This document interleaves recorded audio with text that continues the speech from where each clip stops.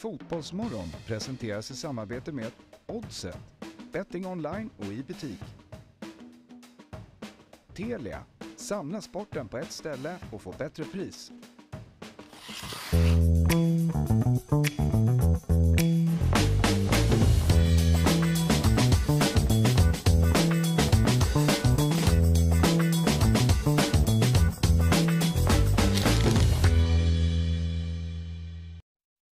Morgon och hjärtligt välkomna ska vara till Fotbollsmorgon. 14 februari, vecka 7 och det är Valentinsdag eh, Jesper. Hur Mm. känner du kring det? Jag vet inte vad jag känner. Jag hade inget bra svar på frågan igår och har inte det idag heller. Men Nej. jag ska vara extra snäll har jag väl lovat. Ja, eller hur? Det är lättare när Fabbe inte är med.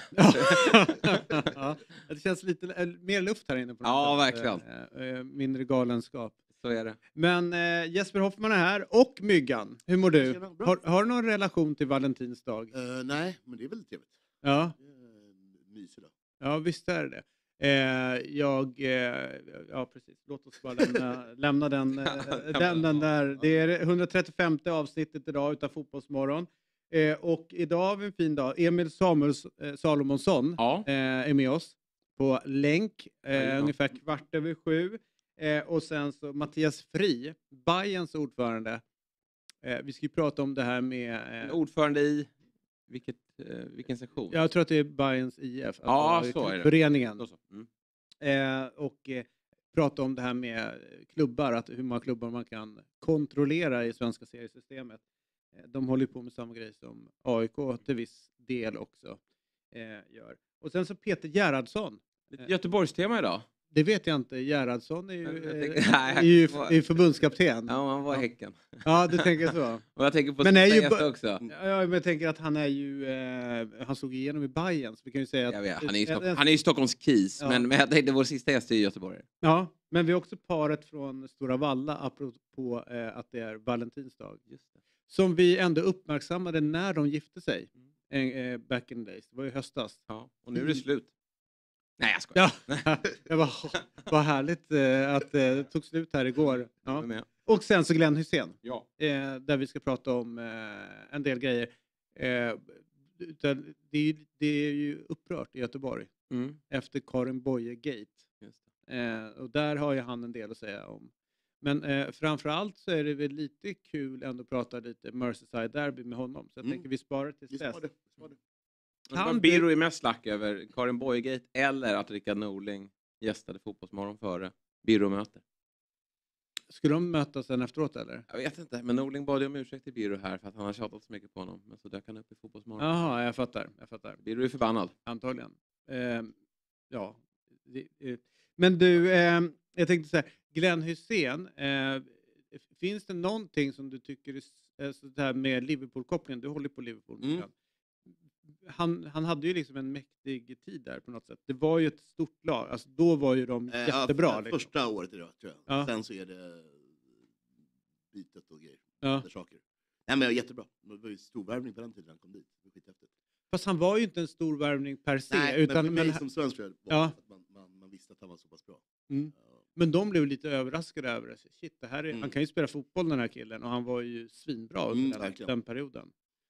Kanske den bästa eh, försvararen vi har skickat ut eh, alltså i, i, i, i så här stor Ja, men liga. det är väl va? bra. Det är väl bra shout. Bjärred då? Vad säger du? Bjärred? Ja, fast ja. Jag vet inte, jag har inte sett den scenen. Jag är bara... Nej, den, den är ju valid, men, men Hussein var ju alltså, sinnessjukt bra och spelade väl i kanske världens bästa fotbollslag så ska där. Det var lite restriktioner på proffs, antal proffs och sånt också. Ja, så att alla kunde Svårare. Men, men Bjärred har väl sin uh, Champions League... eh, titel. Och som han gjorde det. ligatitel, Ja. eh, avgörande var det va? Mm. Ja, ja, ja. Sånt. Vilka jävla år det var Mm. för honom. Eller de torskade väl... Okej, Var det inte så att torska Champions Ja, League-finalen? löste han ligatiteln på någon Ja, frispark. Ja, indirekta frisparkar som vi ser lite för sällan. Ja, tiden. Varför är det så för? Bra fråga. Det, um, det är roligt. Mm. Kul inslag. Har en lång tes om att man ska kunna ha fler sådana mindre straffar. Jo, vi sa ju det Men, med eh, hans. ja, exakt. Men det kan vi- delar av eh, boxen. Men det är i och för sig ganska... Ja, men det, det pratar vi om och det tycker jag... Allihopa? Mm. Ja. så här då. Käka upp den här jävla micken. Käka micken. Ja. Åk skridskor och käka Ja, mick. så här. Du, eh, så här. Eh, igår eftermiddag kom ju nyheten att Sparta Prags mittfältare Jakub Janko valt att eh, komma ut som eh, gay. Eh, och det gjorde han på, på, eh, i en video på Mm. Twitter eller Instagram eller ja, i sina sociala medier. Och han sa uh, I also want to live my life in freedom without fears, without prejudice, without violence but with love. Uh, och uh, sen berättade han då att han var homosexuell. Jag, eh, nå- jag kunde egentligen inte bry mig mindre vem som, vem som ligger med vem och eh, hur man gör det och, och så vidare. Eh, så att jag tycker det är fortfarande märkligt att, man, att det är en grej sådär. Men så går man in och kollar på kommentarer eh, runt det hela. Var kommer alla jävla grottmänniskor ifrån? Alltså hur kan man bli upprörd över att någon är homosexuell? Eller, Det är för mig helt jävla sjukt. eh, Energislös. Eller hur? Ja. Alltså du vet, det var ju någon, något riktigt chipsmongo eh, från eh, typ Malmö och liknande som gick in och skrev liksom så här, alltså, du vet, mest sjuka jag varit med om. Så man så här, gick man in och kollade på hans bio. Ja, jag är gift med någon Amanda och lever lyckligt. Man bara, fast du är ju faktiskt född bakom någon, någon eller uppvuxen bakom en sten, eller stenåldern. Han hade även Donald Trump i profilen. Ja, exakt. Stor, Ja. Stort fan av honom. Det var, ja jag såg också, han kommenterade väl Gusten Ja, exakt, var där, ja. skit där. Ja, nej, det är skrämmande. Och därför är det ändå viktigt att vi upplyser sånt här. Ja. Det är ju därför man måste göra det. För Tyvärr, att det är alltså man fortfarande tänker så här, så många ja. idioter där ute Ja. som, eh, 2023 måste man liksom... som bryr sig om sånt här. Alltså så här som, som eh, blir upprörda över det här. Det är, det är skrämmande. Men, Det finns så eh, mycket annat att lägga tid på. ja, Så, det, eh, kan man säga. Ja. Men det är ett, eh, någonstans ändå att de gör det under karriären är ju ändå lite, inte särskilt vanligt. Det har ju skett några Nej. gånger efter karriär. Ja. Men eh, jag tycker att det blir ännu starkare på något sätt när det är i, i, i karriär. Även om det då inte ska vara starkt. Nej, Så alltså det ska jag- vara helt naturligt. Ja, men då kan man ju säga när man kommer till eh, så här, eh, vår tids eh, st- stora hycklare då, eh, måste ändå vara Fifa, Mm. som eh, går ut och, och svarar med We are all with you, Jakob. Football is for everyone. Då, då har man det. Och så backar vi bara ba- bandet lite grann. Och så regnbågsflagg Ja. Ja, Ja, regnbågsflaggan. Och så backar vi bandet lite grann till VM i Qatar där man inte fick ha liksom, eh, någon regnbågssymbol överhuvudtaget för att den då var politisk. Alltså, fy, alltså hur, de, hur de orkar med varandra. Ja. Nej, det är under- Jag, jag, jag tänker fortfarande på den här regnbågsflaggan på var det Bayern Münchens stadion under EM. Ja. va? Mm. Det- är också sådär, hur orkar ni? Ja, och då, då gick ju Ja, folk, hur- ja, alltså, folk hur- blev ju ja. helt, gick i Ja, bananas. hur, alltså, hur den energin, eh, det måste ni lägga på något annat. Ja, Det kommer ni vinna på. ja, eller hur? Alltså, och de skulle få så oerhört mycket bättre liv om de bara Ja, allt är bara Ja, bättre. okej, nej, men den väljer att eh, älska någon av samma kön. Alltså, bara för att inte du gillar det så behöver du inte bry dig om vad andra håller på med. Och Get de minuterna kan du bara liksom, Sen är göra ju- gör något härligt för livet. Ja. Så Twitter och so sociala medier det är ju verkligen ett, eh, en plattform där folk kan spy ut sin galle Ja. på ett anonymt sätt. Alltså, nu var ju, han, han var ute med namn och nummer. Eh, jag får säga, så att han var väl Det var ju någon som googlade upp honom. Men Ja. eh, det är helt sjukt vad det är en, en möjlighet för folk att eh, bara trycka ur sig massa dynga. Mm. Ja. Du, eh, men eh, låt oss gå vidare och konstatera att eh, Fifa är eh, ja, men udda. En Mm. udda organisation. Det får man säga. Eh, Halmstad eh, gör ju en grej då. De lånar in Amir Al-Amari som eh, inför säsongen eh, 22 värvades från Halmstad till Göteborg och nu då tillbaka till eh, Halmstad BK. Och, eh, eh, du Jesper som har oerhört fin koll på svensk fotboll. Hur bra är det här lånet? Bra. Han var ju jättebra i Halmstad när de var uppe i allsvenskan. Då kom han nog från J Södra. Men sen så åkte de ur det året, men han var, han var riktigt, riktigt bra. Gick till Göteborg och där blev det ju lite lurigt då när han gick till Göteborg, för det var ju Pontus Farnerud som tog in honom. Men mm, det menades på att det inte var en Stare-värvning då. Och sen så lämnade Farnerud och Stare körde på sina gubbar helt enkelt. Och då kom han lite i, kläm här. Men nu är han tillbaka då i Halmstad där han var så lyckad och han var i, även i allsvensk miljö. Vi, han gästade ju oss här Ja, ja, efter vinsten i eh, ja. Mm. Den där kuppen. Den där kuppen Mm. som jag har glömt namnet på men som var stort. Eh, och han, eh, jag tror jag lyfte fram det då efter han hade gästat oss. Borde han inte gå tillbaka till Halmstad? Och nu är han där. Och det, när jag tittar på Halmstad idag så är det ju som så att man känner lite samma oro som man gjorde när de var uppe sist. Vem ska göra målen? Trots då att de har värvat in superettans skyttekung. Men det vet vi ju från Axén. Granat. Granat ja. Granaten där. Att eh, det är lurigt. Sen tror jag Men jag ska bara säga så här, jag tror att han gjorde typ var det 20 24 pro- mål. Ja, 24 mål i division 1. Ja. Sen gjorde han 24 mål i Ja, superettan. om man gör det. Alltså, Exakt, att han verkar ju ändå liksom lyckas höja sig för Mm. Ja, men det är möjligt att han är så. Jag, jag är inte lika kategorisk som, som Axén och säger att det är omöjligt att eh, lyckas i, på högsta nivån. Ah, han tror ju inte på superettan kungar. Men han är ändå, det är samma tränarduo, Pelle och, och, Ja. och Haglund. Och det är nog att man sätter defensiven i, i första led. De behöver nog göra det. De behöver nog kanske göra det, men de misslyckades ju med offensiven senast. Samtidigt går det också att argumentera för att Halmstad var ju tillräckligt bra för att stanna kvar förra gången. Åkte ut i det här märkliga kvalet Mm. Som de trillade ner på i sista omgången. Så att jag, jag tror nog att ja, men Halmstad känns som att de har ett gediget och bra lag. Men, eh, och det här är ytterligare en, en bra pusselbit för dem. Mm. Så är det ju. Eh, det, det roligaste med ändå övergången, ni vet att det har gått inflation nu att man ska göra flashiga Mm. presentationer. De har ju googlat fram den här bilden på nätet. Mm, jag såg det. Det var, Det är pixel, pixel, det var en pixel. printscreen. Eh, Ja. Vilket man såg när man tryckte upp bilden. Ja, men det är ju skitroligt ju. Ja. Alltså, tror, ni att det, tror ni att Halmstad BK är så, eh, Ja. har sån sinnesnärvaro att det, det här är medvetet? Vi Ja, gör nej, ingen, vi gör ingen eh, så här flashig presentation, typ att typ look us back eller du vet, sånt där, utan vi gör det enklaste utav allt.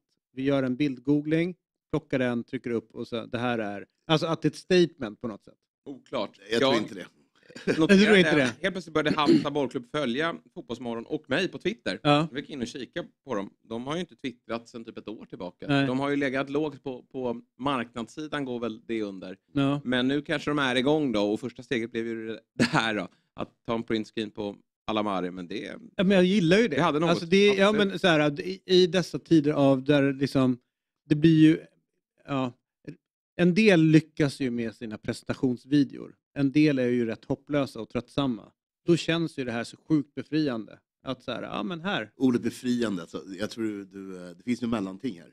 Man bara har en schysst bild. Utan, Att man inte behöver ja, googla. alltså. Precis så, det räcker. Ja. Jag, hade Du, du hade tänkt att det, att det hade varit... eh, jag tror det föll mellan stolarna, någon på kansliet var tvungen att göra något som inte de ville göra. Och liksom bara, här har du. Det är Pelle Olsson. Ja, men vi gillar Ja, ju- Pe- Vi gillar ju Halmstad i Fotbollsmorgon. Ja. Vi vet ju det via Malcolm Nilsson, av målvakten, att eh, många av, i laget kollar på oss och, och följer Fotbollsmorgon. Så att det, det är lite eh, Fotbollsmorgons lag här. Ja, undrar om det blir årets... Eh, vi måste ju sen utse ett årets fotbollsmorgonslag. Ja. Vilket det nu blir. Kan bli Halmstad.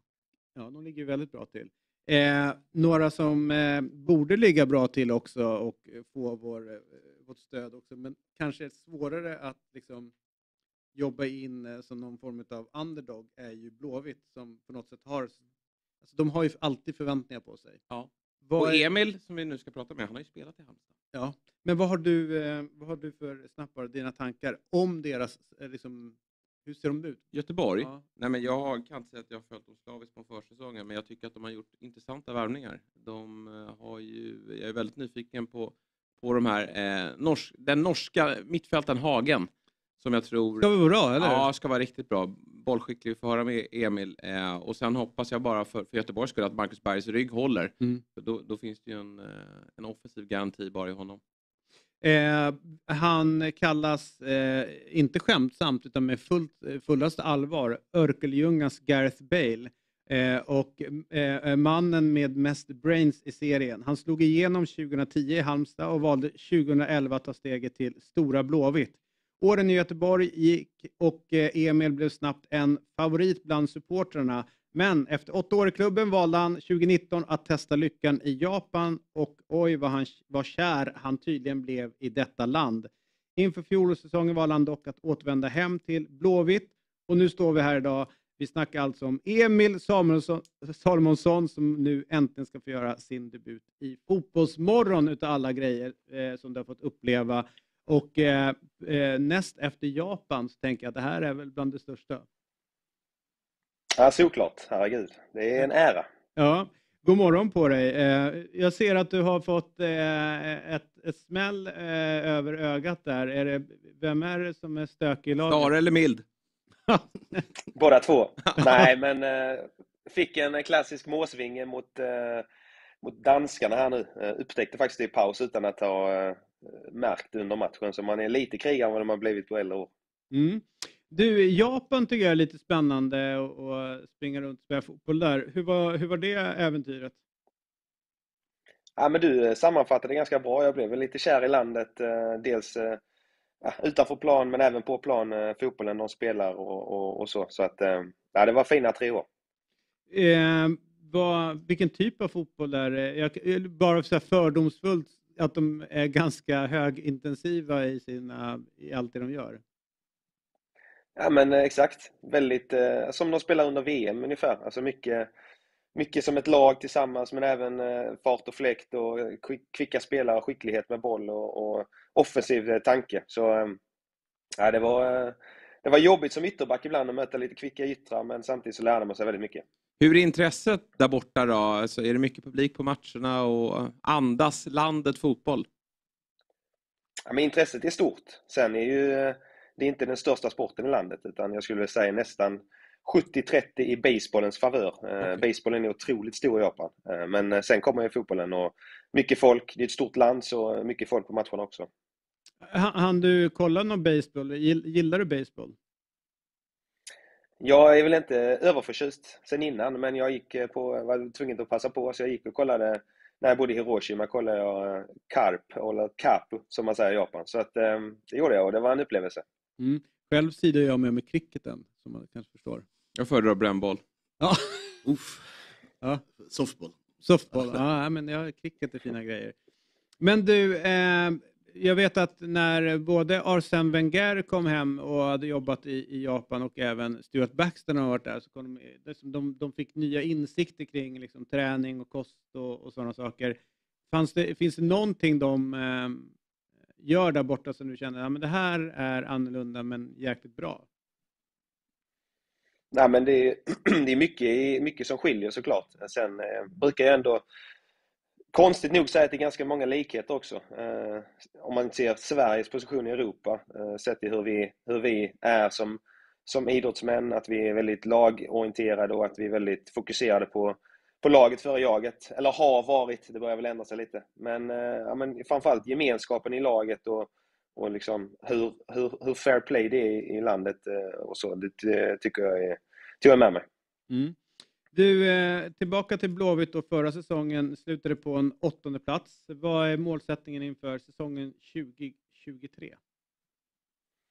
Ja, men glasklart att bli bättre än förra året i alla fall. Jag tycker vi Förra året var en speciell säsong när man hade liksom, vi hade ljuspunkter och vi hade djupa dalar och eh, framförallt kände man, när vi var som bäst fick man känna på lite att eh, okej, okay, vi är på rätt väg och ja, men det, känns, det känns bra. Så att, eh, ja, men eh, bättre ska det definitivt bli och, och man vill ju hänga med längre med i Europakampen och, och kunna störa längre och, och, och så. så att, ja, vi är på ett mission att ta tillbaka Blåvitt där där man inte har varit på ett x antal år utan det, det kommer att ta det tar tid och förhoppningsvis så kommer det ta ganska stora steg i år och närma sig det.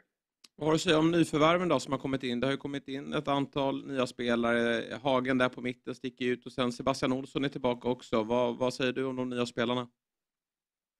Ja, men det känns som att man har värvat smart och värvat klokt och och uppfattat lite, lite behov i, i spelartruppen och samtidigt också föryngrat lite på, på positioner också. Så att, så att det känns ändå bra och, och Elias är ju en väldigt skicklig spelare och bra på att smörja spelet som det så fint heter. Eh, och lite en spelartyp som, eh, som jag tycker många lag eh, behöver och, och, och så. Vi har kanske saknat lite. Så att, eh, nej, det, han känns spännande. Och, Olsson är en vän till mig så att jag är glad att ha tillbaka han och, och Sebastian också, väldigt, eh, Hausner då, väldigt eh, robust och duellstark mittback som, eh, som inte har...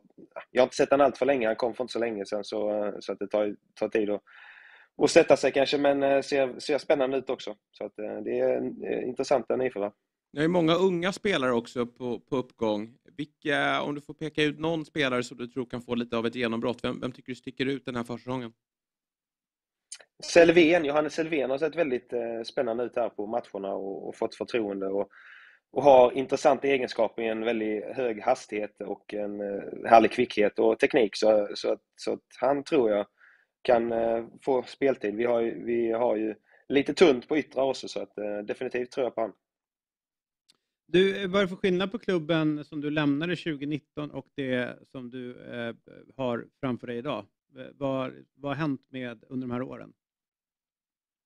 Framförallt tycker jag Blåvitt känns eh, mer stabilare och lite mer välmående än eh, när jag lämnade och, och man ser att organisationen har, har ökat, kostymen är lite större och, och man, man känner att eh, ja, det är det Blåvitt som jag kom till eh, för eh, 2011 då, att det börjar, börjar närma sig det igen. Så att när man ser till organisationsmässigt och så, ekonomin börjar stabiliseras också så att den är mycket mer välmående förening än, än när jag lämnade.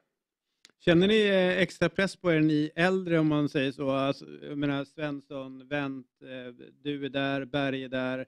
Under rätt många år så var det ju snacket om bara de kommer hem igen så kommer allting ordna upp sig. Eh, nu räknar jag in dig i, i de där återvändarna också, för du blir en sån. Men känner ni den pressen att, att det är ni som ska fixa det någonstans? Pratas det någonting om det? Press eller press, alltså om jag kan tala jag kan inte bara tala för mig själv och det mm. har varit en press så länge jag har varit i Blåvitt. Det har alltid varit en press och det ska vara en press när man spelar i Göteborg. Eh, sen väl förväntningarna har väl ändrats lite de eh, senaste åren med tanke på ja, de senaste 5-6 årens eh, lilla kräftgång om man säger så, bortsett från en period 2019. Eh, men, men annars ska det alltid vara press och det ska alltid vara förväntningar Blåvitt. Och de andra gubbarna som du nämnde har ju, kommer ifrån gedigna karriärer utomlands och, och, i landslaget där, där nivån på press är på ett helt annat sätt också. Eh, så att eh, eh jag tror inte de känner press på det viset. Jag tror bara de känner en enorm vilja att vara med och förändra och vara med och eh, lämna Blåvitt eh, i ett bättre skick än när man kom. Liksom. Innan Allsvenskan drar igång så har vi Svenska Kuppen och ni har en riktigt rolig grupp här då, med Utsikten, Guys och Kamratmöte som avslutar hela mot, mot IFK Norrköping. Eh, känner ni att ni har möjligheter att gå långt här, till och med hela vägen. För jag tänker mig att eh, ambitionen om Europaspel ändå finns där och det här är ju den kortaste vägen ut i Europa. Hur, hur tänker ni kring eh, Svenska Cupen? Nej, precis som du säger. Det är ju det är den kortaste vägen ut i Europa och det lättaste sättet att, att nå Europa. Eh, så att vi satsar stenar på kuppen. Och vi har ju alla matcher i Göteborg nu. Eh, vi fick ju både Gais och Utsikten i Göteborg. Sen så ska vi möta Peking i Göteborg också. Så att eh, Nej, så vi har ju bra förutsättningar och, och, och tuffa matcher och det blir härlig inramning att möta Gais i ett derby och Utsikten också, som är kanske inte på samma rivalitet, men det kommer också bli ett litet småderby. Så att, eh, nej, vi har alla möjligheter, alla förutsättningar och, och, och få göra det bra i kuppen så att eh, det finns inga ursäkter där. Hur redo känner man sig så här nu då, mitten på februari? Det har ju, ja, försäsongen har ju förändrats här i Sverige sedan visserligen några år tillbaka då, men hur redo är ni i helgen? Ja, vi är ju redo. Vi körde ju igång eh, första december så att ja, just det. vi har varit igång här två och, en halv, två och en halv månad. Jäkla så man känner sig alltså. mer än redo.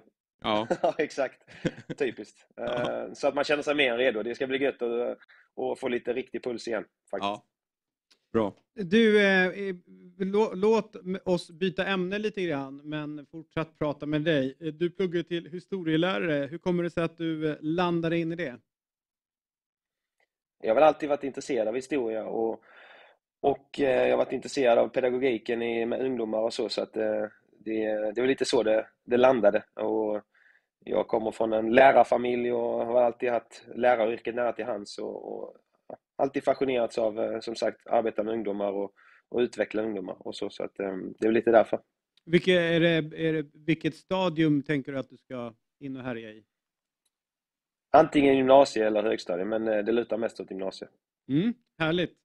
Sen är det så att i, i studion så sitter Myggan eh, med oss. Eh, och Myggan är inte bara eh, bra på fotboll och, och, och spel och sådär, utan han är även en vass DJ. Så att om du eh, kommer upp till Stockholm någon gång så kan det mycket vara så att antingen så har Myggan musik, lagt musiken på stället som snurrar, eller så står du och spelar där. Ja, tack för fina ord. Och eh, du hade ju en frågestund på Twitter igår och eh, när du fick frågan om favoritartist så fick vi lära oss att det är Taylor Swift. Vilken är favoritlåten utav eh, Taylor Swift? Ja, nej, men det, det är lite intressant för jag, hon har börjat lyssna precis på, på senare år. Annars så har jag varit en hiphop-kille. Men eh, då kör jag väl eh, absoluta favoritlåten skulle jag väl säga är eh, Style. Tycker jag. Mm. Men, eh, ja, nej, men det har kommit på senare år. Eh, Och då bollar vi över till eh, Myggan, eh, Style med Taylor Swift. Vad är din relation till den låten? Eh, det, det är en bra låt, men också är det ju Taylor Swifts senaste skiva har ju också breddat henne till kanske, ja, som i det här fallet, folk som inte tidigare har fått upp ögonen för henne. Men nu känns hon väldigt, väldigt eh, bred. Ja. Eh, För, eh, för annars är det ju hiphop och där får man ändå säga att du bottnar Myggan. eh, Jag bottnar en hel del, men jag, jag tänker mig att Emil också gillar mycket svensk rap. Jag är inte så bra på svensk rap. Ah, är du inne i svensk hiphop? Nej, Nej, du ser. nej vi, vi, snackar, vi, snackar, vi snackar Gangstar, Nas, B.I.G. Ja, en bra- Biggie en bra- då. Bra era. Japansk rap. vi. En bra era helt Nej, inte så mycket japansk rap. Nej. Inte så mycket Japan. Men mycket old school hiphop. Det, är- Ja. det är väl där jag bottnar djupast egentligen. Ja, ja, men där, där kan vi ha ett längre samtal.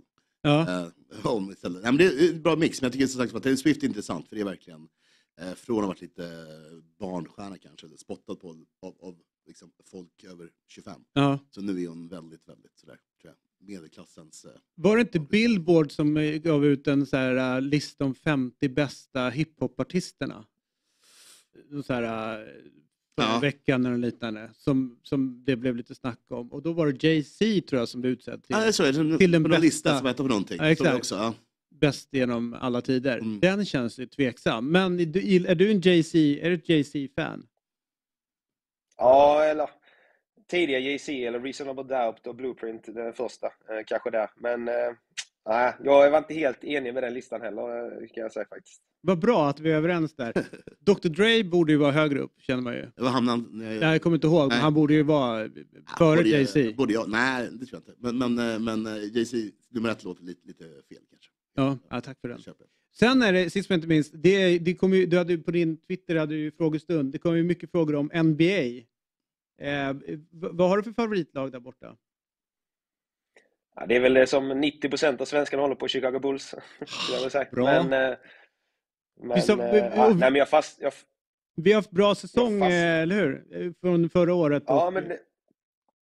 Ja, jag hade lite högre förväntningar på året. Eh, Det såg ju fint ut med DeRozan och Lavin på backcourten där. Men, ja, men ja, det kommer väl förhoppningsvis. Man är ju lite bortskämd när man börjar följa på 90-talet, så är man lite bortskämd. Sen, sen eh, blev jag ju kär i Derrick Rose. Så, Ah. ja, nej, så att, eh, hoppas på det bästa. Shit, jag är, alltså, det här är en själsfrände nu. Eh, och, eh, och din eh, relation till LeBron James, eh, där alla liksom, kanske lite yngre då, hypar honom. Känns inte det lite jobbigt med tanke på att vår kille är ju nummer ett? Jag brukar Jordan. säga sådär, eh, ja exakt, jag brukar säga LeBron James är för de som inte riktigt har eh, varit med så länge. Sen såklart, sjuk, sjukt bra spelare, såklart. Men eh, det finns ju bara en GOAT och det är Jordan såklart. Mm. Ja, men det är bra snack här i Fotbollsmorgon. Bästa någonsin. Du håller inte med eller? Nej, jag är Knicks-fan såklart. Så att, eh, eh, obskyr, obskyr, Var det Patrick Ewing som var där? Eller? Nej, ja, det var det. Men obskyr referens är ju alltid John Stark som kanske... Det, det här är för kondensör, ja. väldigt kondensörigt. Ja, precis. Annars är ju sådana som är lite jobbiga tycker jag, de drar upp så här John Stockton som någon eh, som ska Ja, vara... nej, men det är bara... Skaka brukar jag göra nej, det med. nej, men det, det, Eller hur? det där är bara. De var ju otroligt på pick and roll dock. Ja, men det var, roll. det var, liksom, det var post, one, eh, post. one, ett move bara. Liksom. Ja. Men, eh, men, eh, nej, men jag, jag, jag bodde ju där under, bland annat då, när de mötte... Där Nix var i final, så att säga. Så jag följde liksom Madison Square Garden. Jag bodde ganska nära, så att det var bra dagar. Ja. Ja, du, eh, men det är, också, det är ju Karl Malone du tänker på med världens coolaste smeknamn. eh, The Mailman. Always delivers. Det är ju oerhört mäktigt. Except on Sundays. Except on Sunday. Sen är det också eh, vad är det? Rain, Sle- Sleet, Nor Snow. Det är väl deras eh, eh, saying i USA, alltså posten. De, oavsett om det regnar eller om det... Ja, Ja, så fixar han det. Nor rain, sleet, nor snow. Ja, det är eh, bra. Bra. Du, innan vi avslutar eh, den här morgonen. Eh, vad, vad, det är ju Valentins dag idag. Eh, har du några planer på att uppvakta din partner? Ja, men det har jag. Ska, ska möta upp en efter jobbet, ska vi ut och käka. Härligt. Du, har inte du, vi har varit på samma... Jag har faktiskt spelat skivor på en fest du har varit på tror jag. Var inte, var inte du på New Black-båten något år på Way Out West? Nej, jag, jag skulle gått Du dit. skulle men det, eller hur? Ja, men jag kommer ihåg dålig- Ja, Jag hade det var gästlistan. dålig bett. bara. Det var, Ja, det var dålig timing. Det var om vi hade match dagen efter eller något sånt. Så kände jag att vara ute på den båten när man, när man känner Adde och Elias så vet man att det kanske inte är bäst dagen innan match kanske. Nej, jag tänkte också det. det var nog Ah, bra, du bra känner move. Adde och eh, Elias alltså? Är du... Eh, Okej. Okay. Han har varit en, eh, en bra eh, All right. genom åren. Okej, vad härligt. Då, han, han växer ju för varje, varje, varje fråga så blir det mer och mer att man måste börja följa eh, honom. Fan vad härligt, det här blev ju överraskande bra samtal får jag ändå säga. Eh, och, eh, lycka till med, med middagen ikväll eh, och eh, sen tycker jag väl ändå att du ska sätta dig och pumpa lite Notorious Big eh, idag på dagen. Ett- han håller oss num- nummer ett. Ja, bra. bra. Det är den, den bästa. Och överlägset. Och eh, ha en fantastisk morgon. God morgon på dig. Och tack för att du ställde upp i Fotbollsmorgon. Tack så mycket. Tja, tja. God morgon på er också. Ha det morgon. Hej då. Det är kul det där med brevbärare. Det var ju han eh, eh, Olysee som spelar i Crystal Palace. Ja. Han gjorde ju mål mot United. Och så firar han inte. Det var många som reagerade på det. Och så sa han ju efteråt att ja, men det är ju mitt jobb att göra mål. En brevbärare firar inte när han lämnar, lämnar, eh, när han lämnar posten. Då var det någon som svarade. Nej, men en brevbärare dyker upp fler än tre gånger per år. Å andra sidan vet man inte nu med Postnord för att de... Nej, det är eh, sant. Så att det är Det skulle en bra konto. Ja, Ja, ja, no, I work for Postnord in Sweden. Ja. det är jävligt roligt. Mm. Eh, men oerhört eh, sympatisk herre det här, eller hur? Mycket. Men det visste man utan att man kände honom. Alltså, så visste man, han ser så sympatisk ut, han Ja. verkar sympatisk och han är sympatisk. Ja. Och eh, vi hoppas att det går bra för honom och Blåvitt. Han är väl en av de här äldre spelarna sagt som ska leda de här yngre. För nu tycker jag Göteborg börjar få en skön mix med lite äldre spelare. Förut var det bara gamla föredettingar om man får uttrycka sig Mm. så. Och så tryckte de ner de yngre, alltså de fick inte ta plats i laget. Nej. Nu känns det som att de börjar hitta mixen. Så det kanske är dags för Göteborg att klättra lite i den här tabellen. Och eh, med det sagt, visst borde det också pressen på Stare att, Ja, att det, är ska komma resultat nu, eller hur? Ja, För Det verkligen. var ju snack redan förra året om att det gick ja, men lite trögt. Så kom de in en period när det gick väldigt bra och sen så tillbaka. Men men, äh, Milder varit väldigt tydlig när han var med här i höstas att ja, men vi ska uppåt i tabellen från den åttonde platsen. Men så man börjar kolla ovanför, det är ju ganska liksom, hårt om platserna. Det är, alltså, det är grymt tufft att ta sig in topp fem skulle jag säga. Samtidigt så ser vi lag som har gjort det. Alltså Elfsborg med, med alltså, inte lika stora medel som, som de absolut största klubbarna och vi har Kalmar FF som är där. Så att Mm. får man träff då ska man faktiskt kunna vara med och hota. Men det blir, eh, det blir eh, tufft för dem men eh, nu börjar det bli dags att ställa lite krav på Stare och Mild. Det brukar alltid vara rätt... Eh, alltså, det, ja, det är vissa speciella matcher ni brukar ha, alltså Djurgården, Blåvitt. Ja, det Vad- en är-. Vad är det grejen där? Vad, vad är det för beef? Alltså, det det är helt tydligt att AIK och Blåvitt Mm. har en, en ganska ansträngd relation sinsemellan. Nej, jag vet inte, det, det, det liksom kommer, kommer att gå lite grann med det, här, tror jag, det där hatet. Men sen så var det väl lite speciellt i och med att det var den här äh, matchen med när det gick ner med guld och du skulle missa straffar och grejer. Då var det rätt stökigt. Eh, Alltså för oss eller? För nej, vi, när vi mötte dem eh, sent på hösten, ni kunde vinna en guld eller något. Ja, Ja, ja. Ja, ja, exakt. exakt. Walker-matchen. Ja. Eh, och sen dess har det fortsatt i samma tema, ska jag säga. Så jag vet inte, eh, ja, storstadslag och tradition. Mm. Men det är AIK och Göteborg som är en lite mer klassisk match än än Djurgården och Göteborg egentligen. Det, där, eh, där tyckte jag det var väldigt stökigt egentligen fram till, eh, alltså stökigt i relationen fram till Ivan Torina gick bort. Matchen efter det var ju Blåvitt hemma Mm. för AIK. Yes. Och där tyckte jag, alltså, hur de agerade runt det hela, Blåvitt, så vilken jävla respekt jag fick för alltså, deras, deras Eh, Tobbe uppträdande. Hysén i spetsen. Ja, det, det kommer jag inte glömma bort. Nej, vad fint. Ja. Nej, men eh, Malmö har tagit lite den platsen, eh, både för oss och för, för er. I hatmöten. Ja, jag håller med. Göteborg har tappat mycket på grund av att de sportsligt inte har varit lika starka. Den rivaliteten är inte lika stark som den var. Nej. Ja, men jag tänker på ja, framförallt 90-talet, men, men även 2009 då, när den här otroliga guldmatchen var. Men eh, Göteborg behöver ju eh, vara med där uppe känner jag för att det ska vara den där riktigt heta matchen. Mm. Och ändå tråkigt tänker jag för Blåvitt eh, Eh, totalt sett. Dels att de kanske haft några år nu när de inte gått lika bra där andra lag har seglat upp för rätt många andra lag som alltså blir hetare matcher. Men även i stan, att liksom Göteborgsfotbollen har gått sån jäkla kräftgång. Och nu är det då Häcken som är, ja men det är ju Sveriges bästa lag. Men det finns liksom inte den här traditionen med rivalitet sinsemellan. Sen att de kan, ja, men det är ungefär som att eh, Blåvitt är så här, ja whatever, de håller på med någonting där ute, men det påverkar inte oss in i stan riktigt. Så att de, de, Örgryte är inte där, Gais är inte Nej. där och de skulle behöva få upp dem så att få de här klassiska derbymatcherna på, på ett sätt som kan fylla arenan. Men Kul då med ett cupderby i andra omgången här. Guys som är tillbaka i Superettan möter Göteborg. Det um, Ja, bra det start. kommer bli laddat faktiskt. Mm. Mm. Men de är fortfarande för dåliga. Gais. Ja, ja, så är det. De behöver ju två lag som Ja, slåss där uppe. Sen brukar ju väl Guys sällan, när de väl är uppe, slåss där uppe. Men Nej. de, det är väl kul om de är med i alla fall. Det måste finnas en frustration i Göteborg, IFK Göteborg, att Häcken, även fast det inte finns en rivalitet, att de gör allt så mycket bättre. Mm. Det måste vara väldigt irriterande. Men mer derbyn är en bra idé för dem. Alltså, för dem. Bygga något, något nytt tror jag. Jättebra. Ja. Men Malmö har svårt att, att gå igång på alltså, någon form av eh, ja, hatmöten och lite... Nej, det är väl mer att man alltid vill slå dem för att de är i toppen. Ja, Så man att de är känner ett ju litet Man bäst måste nu. försöka slå Malmö om Ja. man ska kunna ha en chans på att ta det. Och det är Djurgården betydligt bättre på än vad, än vad AIK är. ja. Det låter väldigt bra. Malmö borta eh, är ju... Det är inget jobb.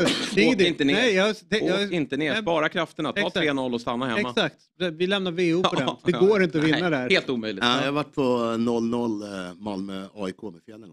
Ja. Det var deppigt. Ja, ja, det var Ja, deppigt. typ. Ja, det, var När- väldigt, det var måste varit väldigt glatt att ta en poäng där. Ja, det roliga är att AIK är helt utspelade och sen på slutet så eh, har de, eh, alltså AIK är ytterst nära att göra mål. Och jag ställer mig upp och liksom får ur mig, fan vad orättvist. Ja. Ja. Vet så här, lätt ironiskt. På långsidan. På långsida visade det vara massvis med säsongare.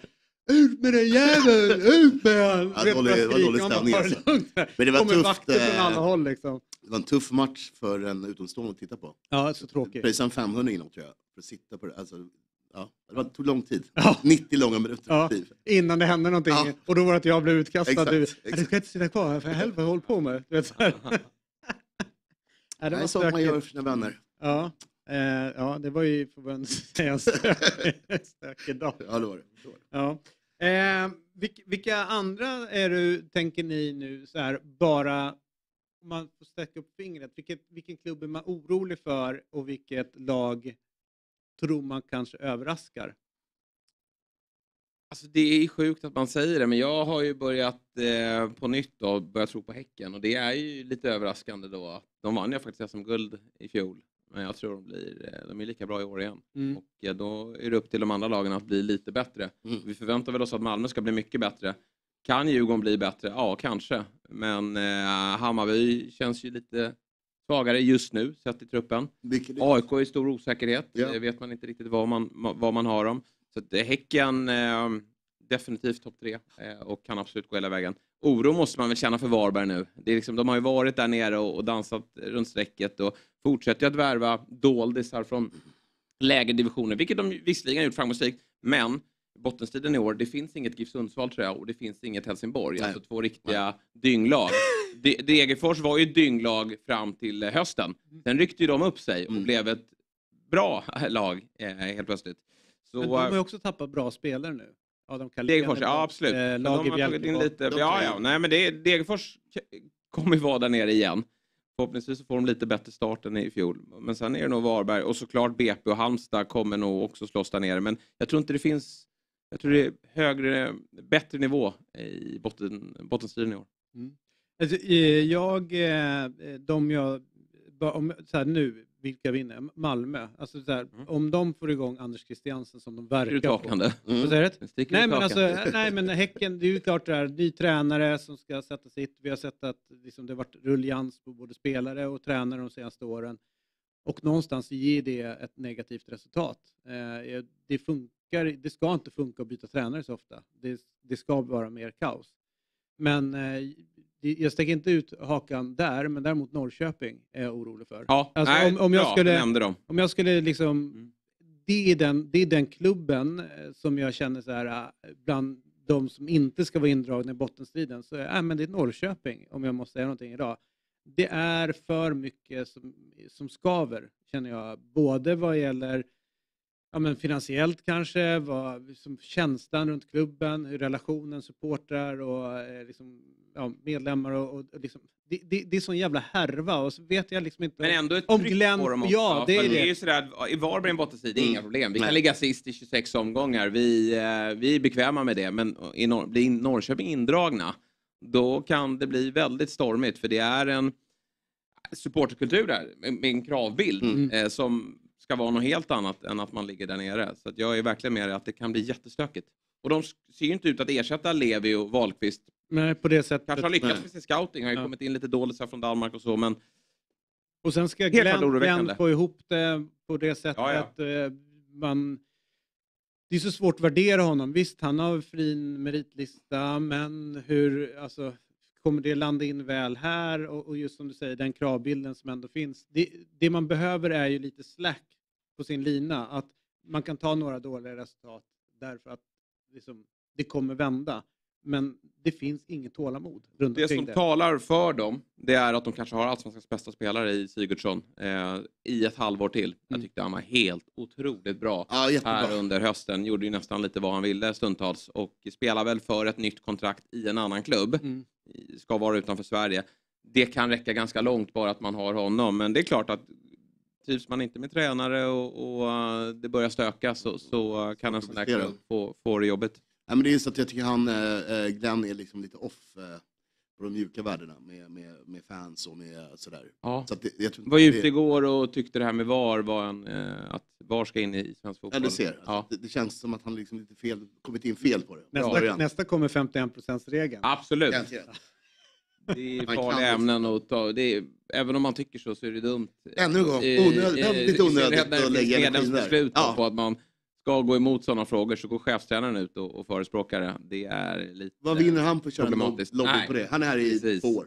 Exakt. Ens, eh, Nej. Nej, men det är ju lite, lite gubbigt Mm. över det hela. Alltså du är en, eh, född Ja. på 60-talet kanske. Ja, Eh, exakt. Ja, och- då är man och- gubbe. Ja, men det är man. Eh, så ni klarar er. En, en, Tackar, en, tackar, tackar. 60-tal, jag tror tyvärr att han är 70-talist. Alltså. Är han det? Ja, jag tror det, han är yngre än man tror. Alltså. Nej, jag måste googla det. Ja. För att om du säger att han är gubben född på Ja, 70-talet, men jag tror då att, åker du eh, ut därifrån. Jag tror han kan vara jämngammal med Fjäll. Alltså. Ja, det är kul att Fjäll är äldre. Tidigt, tidigt 70-tal, där med Fjäll. Han kanske är äldre än Fjäll. Eller yngre än Fjäll. Yngre Fjäll. Precis, precis Kom där igen nu, I, Riddersson. i glipan mellan 60 och 70 Äh, Han är 72!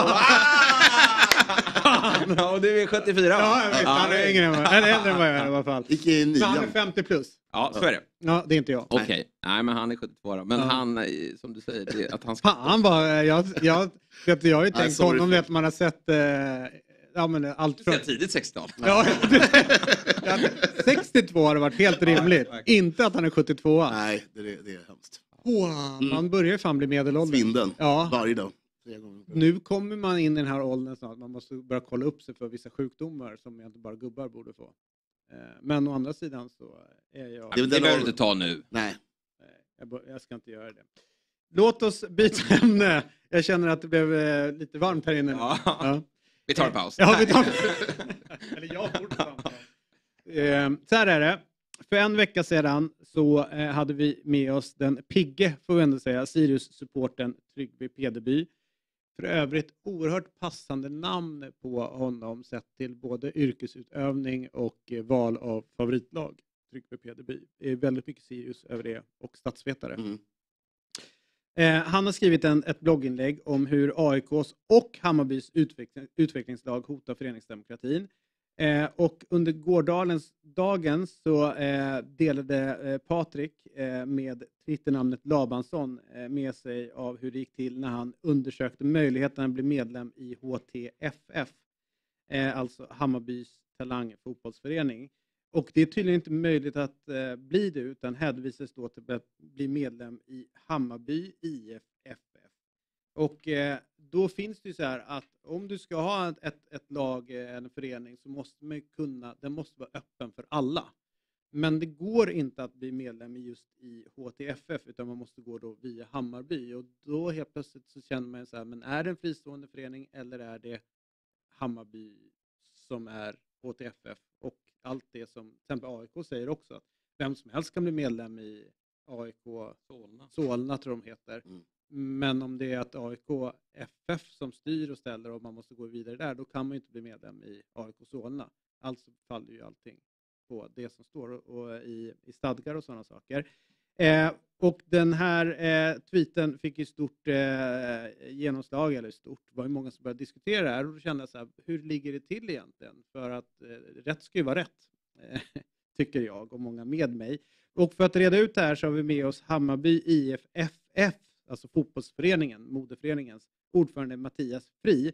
God morgon Mattias, eh, hur är läget eh, denna valentinsdag? Jo tack, det, det är bra. Eh, det är väl kul att få börja dagen med att få prata fotboll. Ja, så är det. Du, ska vi reda ut den här eh, tweeten och ert svar eh, som har fått mm. en del uppmärksamhet och mötts av kritik. Eh, hur ser du på ert svar att man inte, eller man måste gå via Hammarby eh, IFFF för att liksom, ha möjlighet att bli medlem i HTFF? Det är fel för det första. Det, så är det ju inte. Man kan ju vara medlem direkt i HTFF och det finns möjlighet att ansöka om medlemskap. Så det svaret som gavs på den här, från vår kundtjänst på den här frågan som kom in via mail var fel. Men, men det är fortfarande en förening som 100% kontrolleras utav er? Väl? Nej, nej, det tycker jag inte. Den, den kontrolleras av sina medlemmar. Sen så är det klart att vi har en, en samarbetsklubb till Hammarby, men formellt sett så kontrolleras den av sina medlemmar och det de som sedan väljer sin företrädare i HTF. Men de som sitter i eh, styrelsen just nu, när, man, när vi gick in och kollade på det, så är det ju folk som är anställda i, eh, i Hammarby. Eh, är det rätt eh, noterat? Ja, så är det, så är det, så är det absolut. Så är det absolut. Och du ser inte någon problematik i det eh, med just det man tänker med att klubbarna ska liksom vara fristående från, från varandra? Att folk som arbetar och sitter i Bayerns styrelse, ledningsgrupp också då är styrelsemedlemmar i en annan klubb i, i samma seriesystem? Ja, men, ja, eh, det är så och vi har, de, alltså medlemmarna i HTFF har, har valt dem. Eh, sen så kan jag förstå att det ser, det ser konstigt ut, men det är så liksom, det årsmötet har beslutat om att tillsätta sina styrelseledamöter. Eh, Hur många medlemmar är i HTFF? Eh, jag tror att vi, jag är medlem själv, är ett 90-tal. Tror jag, något sånt där. Eh, vi minns att vi var, brukar vara mellan 20 och 30 på årsmöten. Finns det någon problematik med den eh, sportsliga integriteten för HTFF och då jag tänker jag förlängningen då för AIKs del som drar igång det här AIK Solna FF heter det va? Konstigt stökigt namn. Eh, och om det skulle vara så att ni dyker på varandra i ett, ett kuppspel eller något liknande, vad händer i det läget? Ja, det, det, det, är ett problem. Det finns ju ett antal problem, eller ställningar runt de här samarbetsklubbsarrangemangen. Det finns ju, nu har vi, ni pratat om AIK och Hammarby, men det finns ju vad jag vet åtminstone sex stycken sådana i svensk elitfotboll. Det är Sylvia, Norrköping, Malmö med Olympic och sen så är det Rosengård och Häcken på damsidan. Mm. Så det, det, är ju ganska många ändå. Eh, och eh, där är det klart att AIK är senast på banan och vi kanske har kommit längst i det. Men, men det, är ändå, det finns ett antal. Eh, jag håller med om det. Och det, där är väl, det finns ju, man tittar man på regelverket som finns för samarbetsklubbar, så, så för att man ska kunna låna spelare på de reg, enligt regelverket som finns så får man ju inte spela i samma serie till exempel. Det är ett sätt att undvika det. Sen när det gäller kuppen så är det ju så att varje förening bestämmer ju själva om de vill vara med i kuppen. Man måste inte vara med i kuppen. Eh, vi har väl mellan våra organisationer haft en diskussion om det och där har HTF beslutat att de ska inte vara med i kuppen 2023. Till exempel. Just för att undvika den problematiken. Jag förstår. Men det är intressant att du säger i våra organisationer, så att ni ser det som en förlängning av Hammarby IFFF är HTFF. Så det är inte helt fristående. Det är inte, det är inte, nu sätter inte jag och raljerar, utan jag försöker bara liksom reda ut det. För jag Nej. förstår att man vill som en elitfotbollsförening som Hammarby ändå är, hitta liksom en verksamhet där man på något sätt kontrollerar för att ge ja, men spelare som är på gränsen till A-laget, eh, kanske lite yngre, få bra matchning. Eh, vad skulle ett annat sätt, hur skulle en annan möjlig fram, väg framåt vara utan att man eh, liksom gör avkall på de principerna som vi ändå tycker är väldigt viktiga inom svensk fotboll? Eh, än, än att det blir Jag ska bara, det här jag ska bara, så, så, jag ska bara säga, återkomma till mitt tidigare svar. Jag sa organisationer, alltså med Mm. flit. För att vi, vi som sitter i Hammarby IF, Hammarby Fotboll Idrottsförening och Hammarby Fotboll ABs styrelse kan inte bestämma om HTFF ska vara med. Vi kan tycka någonting om det. Mm. Och vi är klart att vi kan skulle ju kunna säga att vi vill inte låna ut spelare till dem om ni är med. Men nu har vi inte behövt göra det. Men så att jag menar, menar att organisationer menar att det är två olika beslutande organ. Eh, Och det, nu, nu blir det ju semantik lite grann för att de som Ja. sitter där jobbar ju också i, i exekutiva positioner i Hammarby och då är det klart att alltså så här, jag fattar det också att ni ser som olika organisationer men jag ser ju också som att eh, ni, ni är ju eh, liksom, ni hänger ihop sådär. Eh, och, och, ni gör ju det för att, som jag sa, liksom, hitta möj, eh, liksom, utvecklingsmöjligheter för, för duktiga unga spelare. Men hur skulle man på något annat sätt kunna lösa det här utan att man eh, går in och, och liksom kanske försöker... eh, Det är ju ett, eventuellt ett system som går sönder som vi håller väldigt, väldigt kärt. Liksom det här med föreningsdemokrati och ja, du fattar. Absolut, Nej, men jag, det håller jag med om. Det, det finns ju, EFD, så Elitfotboll Dam har ju kommit med ett förslag hur de, eller de, vi är ju med där också, men hur man skulle kunna lösa det genom att ha två lag i samma förening till exempel, för att, slip, för att slippa, eh, eller tydliggöra ytterligare vad som gäller. Mm. Det skulle ju kunna vara ett, ett sätt. Sen så tycker jag att man måste också vända på frågan, faktiskt ta den från andra hållet. Jag har full respekt för föreningsdemokratifrågan. Den är viktig att man hanterar den på ett bra sätt. Men det handlar ju också om hur vi ska liksom ta tillvara svensk fotbolls utveckling. Men vi har ju alla, noterar ju att vi inte har en positiv utveckling när det gäller den internationella liksom konkurrensen. Båda våra landslag har en negativ utveckling. Vi ser att Norge och Danmark springer ifrån oss när det gäller talangutveckling. Den större frågan är hur ska vi möta det? Och det här, jag är helt övertygad om att, att hitta den, här typen av samarbetsklubbsarrangemang, hur de nu kommer att ska se ut, är en, kan vara en viktig del. Det är ingen lösning, men för oss har det varit en bra lösning och uppenbarligen för, för ett ganska stort antal andra klubbar också. Sen tror jag inte att långt från alla allsvenska klubbar kommer att göra det. Nej. Men, och och, och vad, vad, hur tänker ni kring IK Frej då som, som någon gång, en gång i tiden var en, liksom en klubb och hade ett seniorlag som nu, liksom, ja, det blev ju en härva där. Vad tänker ni kring hur, hur det, hela den processen var? Ja, den var väl, eh, vad ska man säga, det, det, vi, vi blev lite, lite åskådare i den processen. IK Frej hade ett herrlag och en ungdomsförening. Mm. Eh, och de, vi hade ett samarbete med deras här elitförening, jag tror att de hette här elitfotboll eller något sånt där. Eh, och eh, de hade ju, i samband med pandemin där så hade de svårt att upprätthålla sin verksamhet och, då hamnade vi i en position där de var på väg att lägga ner och det var då, där vi klev in och, och så att säga säkerställde att verksamheten kunde leva vidare. Så vi hade ett djupt samarbete med IK Frej sedan tidigare. Eh, och ja, det, det, väl, det var väl inte våran plan att det skulle bli så, men nu blev det så när de inte, inte det, det inte bar sig för dem helt enkelt. Jag fattar. Du, Fotbollförbundet eh, har ju bildat en projektgrupp nu som ska utreda klonföreningar för att säkerställa att de faktiskt följer ägar och tävlingsbestämmelserna. Har ni haft någon dialog med, med förbundet runt det här? Nej, vi har haft en dialog med EFD om, om det förslaget som EFD har lagt fram för, för eh, utvecklingslagsverksamhet. Men jag, jag, jag, jag, har inte haft någon dialog med det, de kan ju ha haft det med någon annan i organisationen. Men jag, jag, jag känner inte till att vi haft det. Vore ju skandal om de inte surrar med ordföranden. Eh, nu skojar jag lite. Du, eh, men De, du... de har ju ganska mycket att tänka på på förbundet. Va? De kanske kommer tillbaka i, i april eller någonting när de vet vem som bestämmer där ute. Ja, ja eller, eller när de har bestämt sig om vem som får eh, ha möjlighet att få bestämma. Eh, det är Ja, väl eh, l- långt ifrån där. Eh, men du, eh ja, eller hur, apropå den ja. De har ju lite grann att jobba på där, vem som... Fan vad roligt, det är kanske de man ska ringa upp och, och hetsa om eh, ännu mer om det där. Du vet att Fredrik Reinfeldt vägrar ju ställa upp och svara på frågor eh, om sin kandidatur. Det är också väldigt märkligt eh, apropå eh, föreningsdemokrati och öppenhet som vi har i fotbollen. Men det är en helt annan fråga. Men du är inte orolig att er satsning kommer anses vara regelvidrig utav dem på förbundet? Nej, alltså min, min uppfattning, eller vår uppfattning är att vi följer alla de regler som finns eh, för det här. Eh, sen som de, om svensk fotboll liksom, i någon demokratisk ordning väljer att fatta, sätta andra regler för verksamheten så kommer vi naturligtvis att förhålla oss till dem. Mm. Eh, men vår, vår bestämda uppfattning är att vi följer de regler som finns och det tror jag alla sådana här eh, utvecklingsklubbar anser att de gör. Eh, faktiskt. Men, Sen, eh, sen, sen, ja. nej kör du, fortsätt. Nej, men sen finns det en del otydligheter i det kanske som behöver, förklara, behöver liksom, um, förtydligas, hur, hur man, vad som gäller i vissa specifika situationer. Och så där. Men det är väl ett utvecklingsarbete. Jag, sa det, jag tror att det är en jätteviktig fråga för svensk fotboll att hitta miljöer för att utveckla unga spelare och det här är ett bra sätt för det.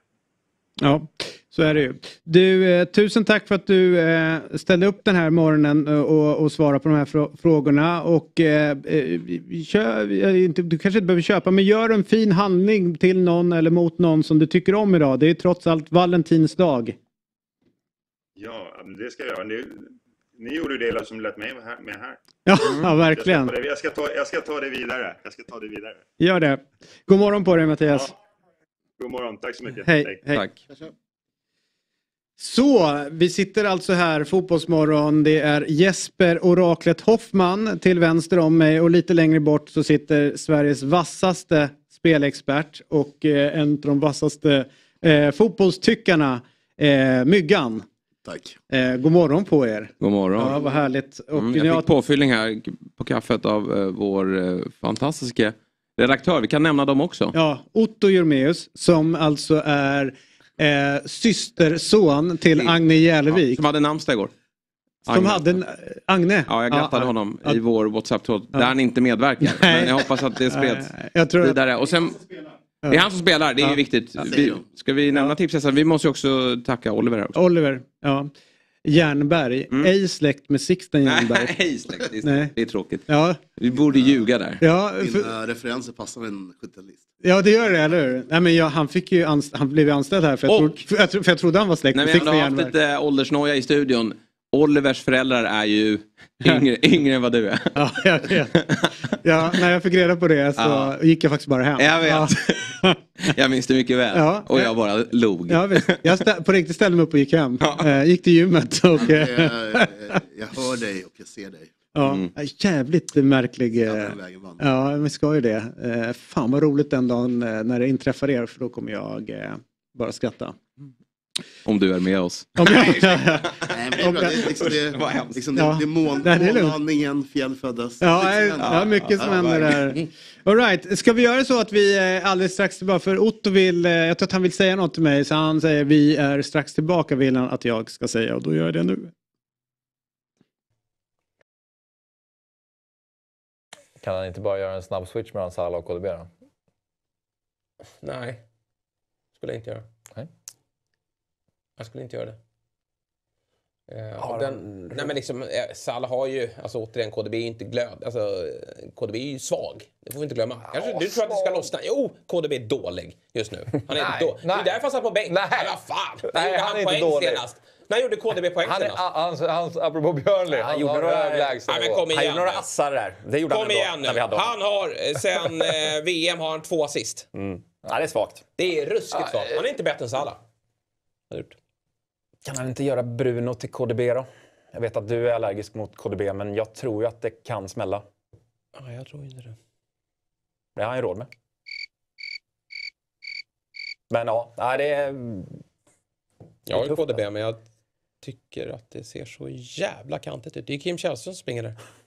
Va? Det är KDB fortfarande. Händer ingenting när han tar fart.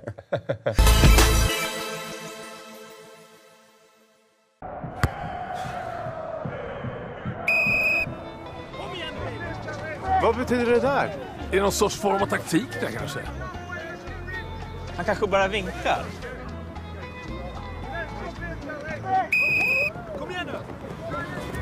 Trevlig den där nya killen. Då är vi tillbaka i Fotbollsmorgon. David Fjell heter jag, Jesper Or- Oraklet Hoffman och Sveriges bästa spelexpert Myggan såklart. Och nu är det dags för speltips tillsammans med Myggan. Och eh, du är väl, ska jag väl säga, Sveriges enda relevanta spelexpert. Han är stark. Eller hur? Ja. Ja. Men du- jag var ju nära igår. Du, jag sa ju att Liverpool skulle vinna. Det var helt övertygad Ja, om. men det jag flaggade lite grann för Sampdoria också. Nej, det Jo, gjorde du inte. Du flaggade för Everton. Ja, ja. Men det, alltså, eh, tre av fyra satt ju. Det var ju bara att eh, Inter inte fick in bolluslingen mot eh, Sampdoria. Så att, eh, ja, vi fick inte rätta lunchen där. Nej. Innan vi eh, börjar med eh, spelet så tycker jag att vi kan bära in en grej till Myggan här. Ja, därför spännande. att... eh, Om Oliver, Vi ska leva, vi ska leva, vi ska leva under hundrade år.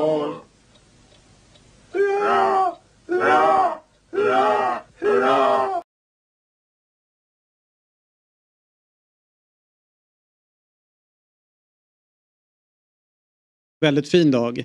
Då föddes Myggan. Och eh, eh, det, han har ju som Stort princip att aldrig jobba på sin födelsedag. Exakt. För att man undvika just sådana här tillfällen. Ja. Eh, och, och då tänkte jag att i och med att du ställer in i morgondagen så får du idag eh, tårtan. Ja, ja. Eh, Tack att- redaktionen, tack för hjälp. Ja, ja, så Jag kör här och önskar Ja, som man gör. ja visst. eh, Så att, eh, Världsfred och allt det där. ja. Där kommer den. Ja. Det är kul också att Myggan som är ur-djurgårdare fyller år på samma dag som AIK. Ja, fast det där- AIK, inte ja. fotboll. Men AIK. Det är lite, det, eh, jag har lärt mig den hårda vägen. Lite, det är lite känsligt att prata upp just den kopplingen. Ja, jag så vet. Det, Men det han har tagit göra. upp det några gånger förut, Ja, ja, jag- ja, ja, okej. Men, eh, Jag fyller på. Ja, precis. Men stort eh, grattis i förskott. Ja, men superfint. Det måste och ändå... eh, Fotbollsmorgon är först, så stort tack. Ja. Det, är, Ja. det ärar. Precis. Väldigt åldersfixerat idag, men det blir det. När Ja. någon fyller år och någon är gammal. Och, Ja, visst. Ja, och Glenn är ung. Och, Ja, precis. Här har vi det. Eh, Så att eh, du har ju knåpat ihop eh, någonting. Jag hoppas att det blir bättre än det som Jesper höll på med igår. Och idag är det Oddset. Och det är en produkt från Svenska Spel, Sport och Casino AB. Åldersgräns 18 bast. Och har du problem med spelandet så finns stödlinjen.se. Och vad har du hittat för roliga spel? Ja, men lite så här endorfin eh, hög igår så kände jag att vi ska upp med oddset igen till, till eh, en ordentlig lunchpeng och kanske en liten chokladbit efter det. Ja. Eh, Oh! 20 öre från lunch på ICA. jag, jag vacklat i den första matchen med med Bayern-Paris eh, som alla andra har gjort. Mm. Men jag tycker att Mbappés träning i söndags gör att två mål löser dem.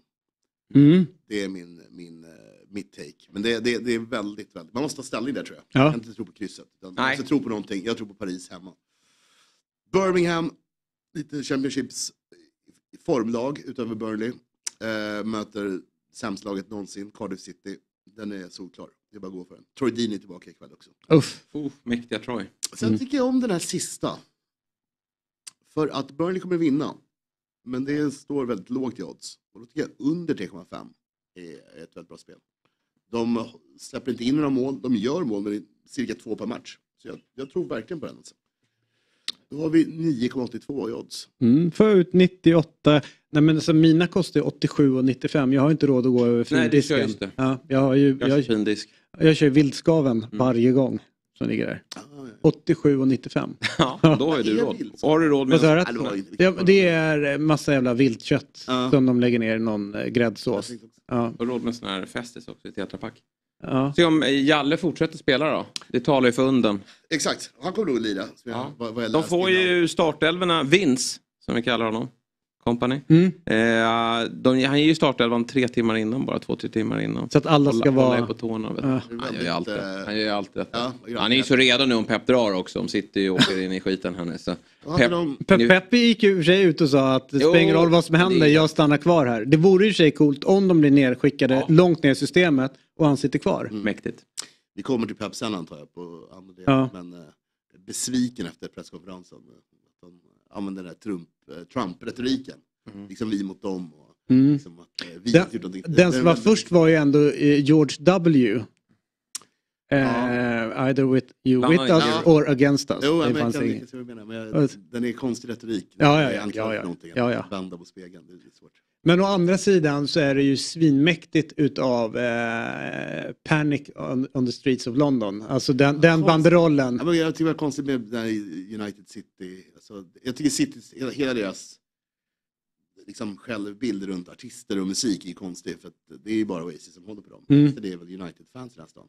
Eh, ja, jag tror det. Morrissey och... Ja, visst, visst, visst. Morrissey har ju, har ju lite uppförsbacke, apropå, eh, tänker jag, Ja, han- hans politiska ja, utspel. Exakt. Men Ja. jag är John, Johnny Mars, eh, liksom, stort fan av honom, inte av Morrissey. Okej, ja, det är bra.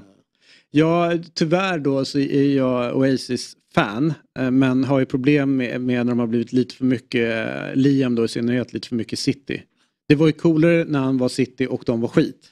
Än nu. Liksom när de Nej, det tycker han nog själv också. Vad sa du? Det tycker han nog själv Ja, också. både och. I början var han lite så här, men sen så gillar han ju att vinna och så går han runt. Såg ni att Will, eh, Will Ferrell är på öarna också och kollar mycket fotboll? Ja, han har varit han i både där och- City och, eh, Liverpools omklädningsrum igår Ja. men stod han med en bild med Trent och sådär. Så han... Han är ju där och gör lite, eh, vad heter Los Angeles Football Club, LAFC tror jag. Han liksom försöker promota. Ja exakt, man försöker promota lite grann. Och så var han nere i Wrexham också och hängde på där och så det gick för dem.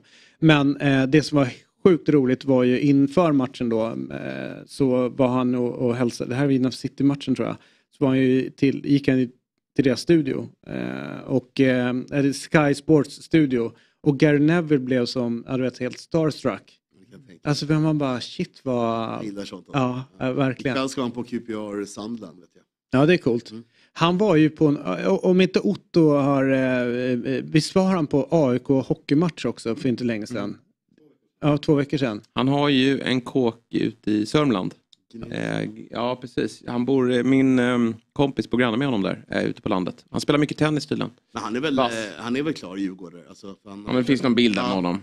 Okej. Och så, de bor på Östermalm, på, vi körde ju restaurang där, Hundgården länge. Då var ju nere varje sommar i, eh, med sina barn och fru. Floras kulle? Han var ju där i- väldigt... Är det sant? Ja. När jag var där eller? Ja. med en fotboll, det var väldigt så här low key. Han och hans son spelade fotboll så att de drack vin, hans svärföräldrar och fru. Jaha. Du, Dagligen nere och käkade där. fan att man missade det. Mm. Men då var det, det var även på stadiontiden, så då var han på stadion. Ja. Men... eh, 9,82 gånger pengarna Ja. för den här trippen. Riktigt mysig ti- tisdagstrippel. Ja, jag tycker också det. Sitta och jobba, tre Och skärmar. eh, som sagt var, det, det är kul att ta sida tror jag i Paris, Bayern München Ja. för ikväll. Sitt inte och tro på kryss. Vilken match! Bestäm er för en sida, gå för den. Det tycker jag Tidig middag.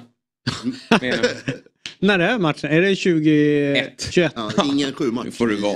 Nej men jag tänker de kör inte sju, Helt in i de kör, basket. de kör inte sju, ja exakt, bara Nej, basket. sju är bara grupp-Jannen tror jag. Ja, Ja, nej, där det, borta. den tiden är förbi nu. Skönt. Eh, Jag Jag är gillar dock det. förbannad att vi inte kör 2045. Ja, det, Det det är så illa alltså, men det är bara att bita ihop. torka i Ja, sig. ja. Det är nya tider. Eh, och som alltid då, eh, det här är från eh, Svenska Spel, Sportcasino, åldersgränsen 18 år, stödlinjen.se om du har problem. Och om du, vill då, om du då inte har problem och vill rygga spelet så finns det där uppe på en QR-kod uppe i ena hörnet. Eh, annars finns det på dob.one oddset så ramlar man in där. Europatips imorgon och så eh, tips-SM. Ja. Ja, med jackpot ja. Och sen tips-SM till helgen är ju kul. Sex rätt på undertecknad då i premiärhelgen. Men som alltid, stryker den sämsta omgången. Ja, Exakt så. Åtta rätt på fjäll. Ja, nej, men får, vi fick en Ja, bra fick start. nio, Ja. bra. Ja. Slakta ju lördagsgubbarna. Ja, lö- Bär eh, vår... ja. Ja, du är också lagkapten så Ja, det ska du Det göra. du göra, verkligen. Men så här var det, i fredags så blev det officiellt att damlandslagets förbundskapten Peter Göras Gerhardsson förlänger kontraktet till sommaren 2025. Då EM ska spelas. Jag tror att det kan bli Sverige. Visst har vi sökt om att få arrangera det? Gerhardsson tillträdde som förbundskapten 2017 efter en lång sejour i BK Häcken och innan det, om inte jag är helt fel, så kom han från Helsingborg där han var ASS-tränare. Och sen gjorde han ju så jävla fint jobb eh, i BK Häcken så att det vi ser nu, där de vinner och allting går bra, det, det fundamentet la ju Peter Gerhardsson. Men man får också inte heller glömma bort att eh, han var en jävligt fin fotbollsspelare också. Och apropå Salomonsson också en musikkonnässör.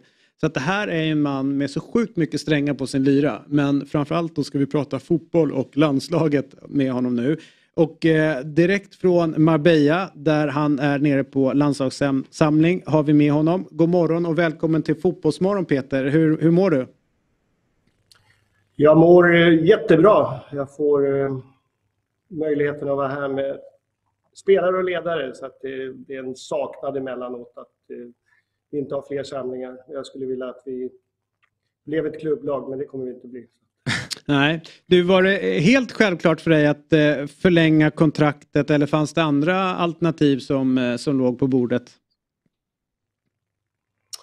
Eh, men ibland så, jag tycker att jag var, jag kände liksom att hösten här så var det bra att eh, liksom få fundera. Så att jag hade ingen brådska liksom att ta upp det med förbundet eller att vi måste diskutera utan vi hade bestämt att i, någon gång i december, det kändes skönt. Och under den tiden så, så var det en del erbjudande eller förfrågningar och så vidare. Då, jag tycker att det är bra liksom att ibland öppna upp och diskutera och prata, inte bara med eventuella nya arbetsgivare utan även med familj och allting. Vad skulle det innebära? Vad ska det här? Vad vill man? Så att, eh, ibland behöver man tid. Jag är, de som känner och jobbar med vet att jag är väldigt sen i min, mina beslut. Jag vill vänta ända tills jag verkligen behöver fatta ett beslut om det nu är startelva eller om det är delar där. Så att det gäller väl samma sak här. Så jag, eh, men någonstans så fanns det hela tiden att det var det här jag ville. Så att, eh, men ibland bra att eh, tänka till lite extra och så vidare.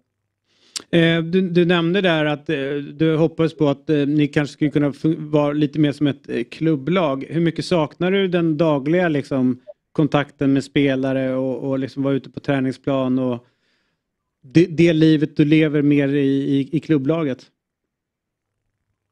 Ja, men, man drar inte, inte nu när man är här, nu saknar man inte det utan nu, nu är det underbart på så sätt. Men ibland när man är ute och åker och tittar, träffar eh, tränare, man eh, ser träningar och så vidare. Det är en, det är en, det är en avsevärd skillnad tycker jag. Nu hade jag ju förmånen att vara förbundskapten för pojklandslaget eh, under en tid där när man eh, lärde sig mycket tycker jag om att försöka komprimera och hur mycket tid har man att göra det.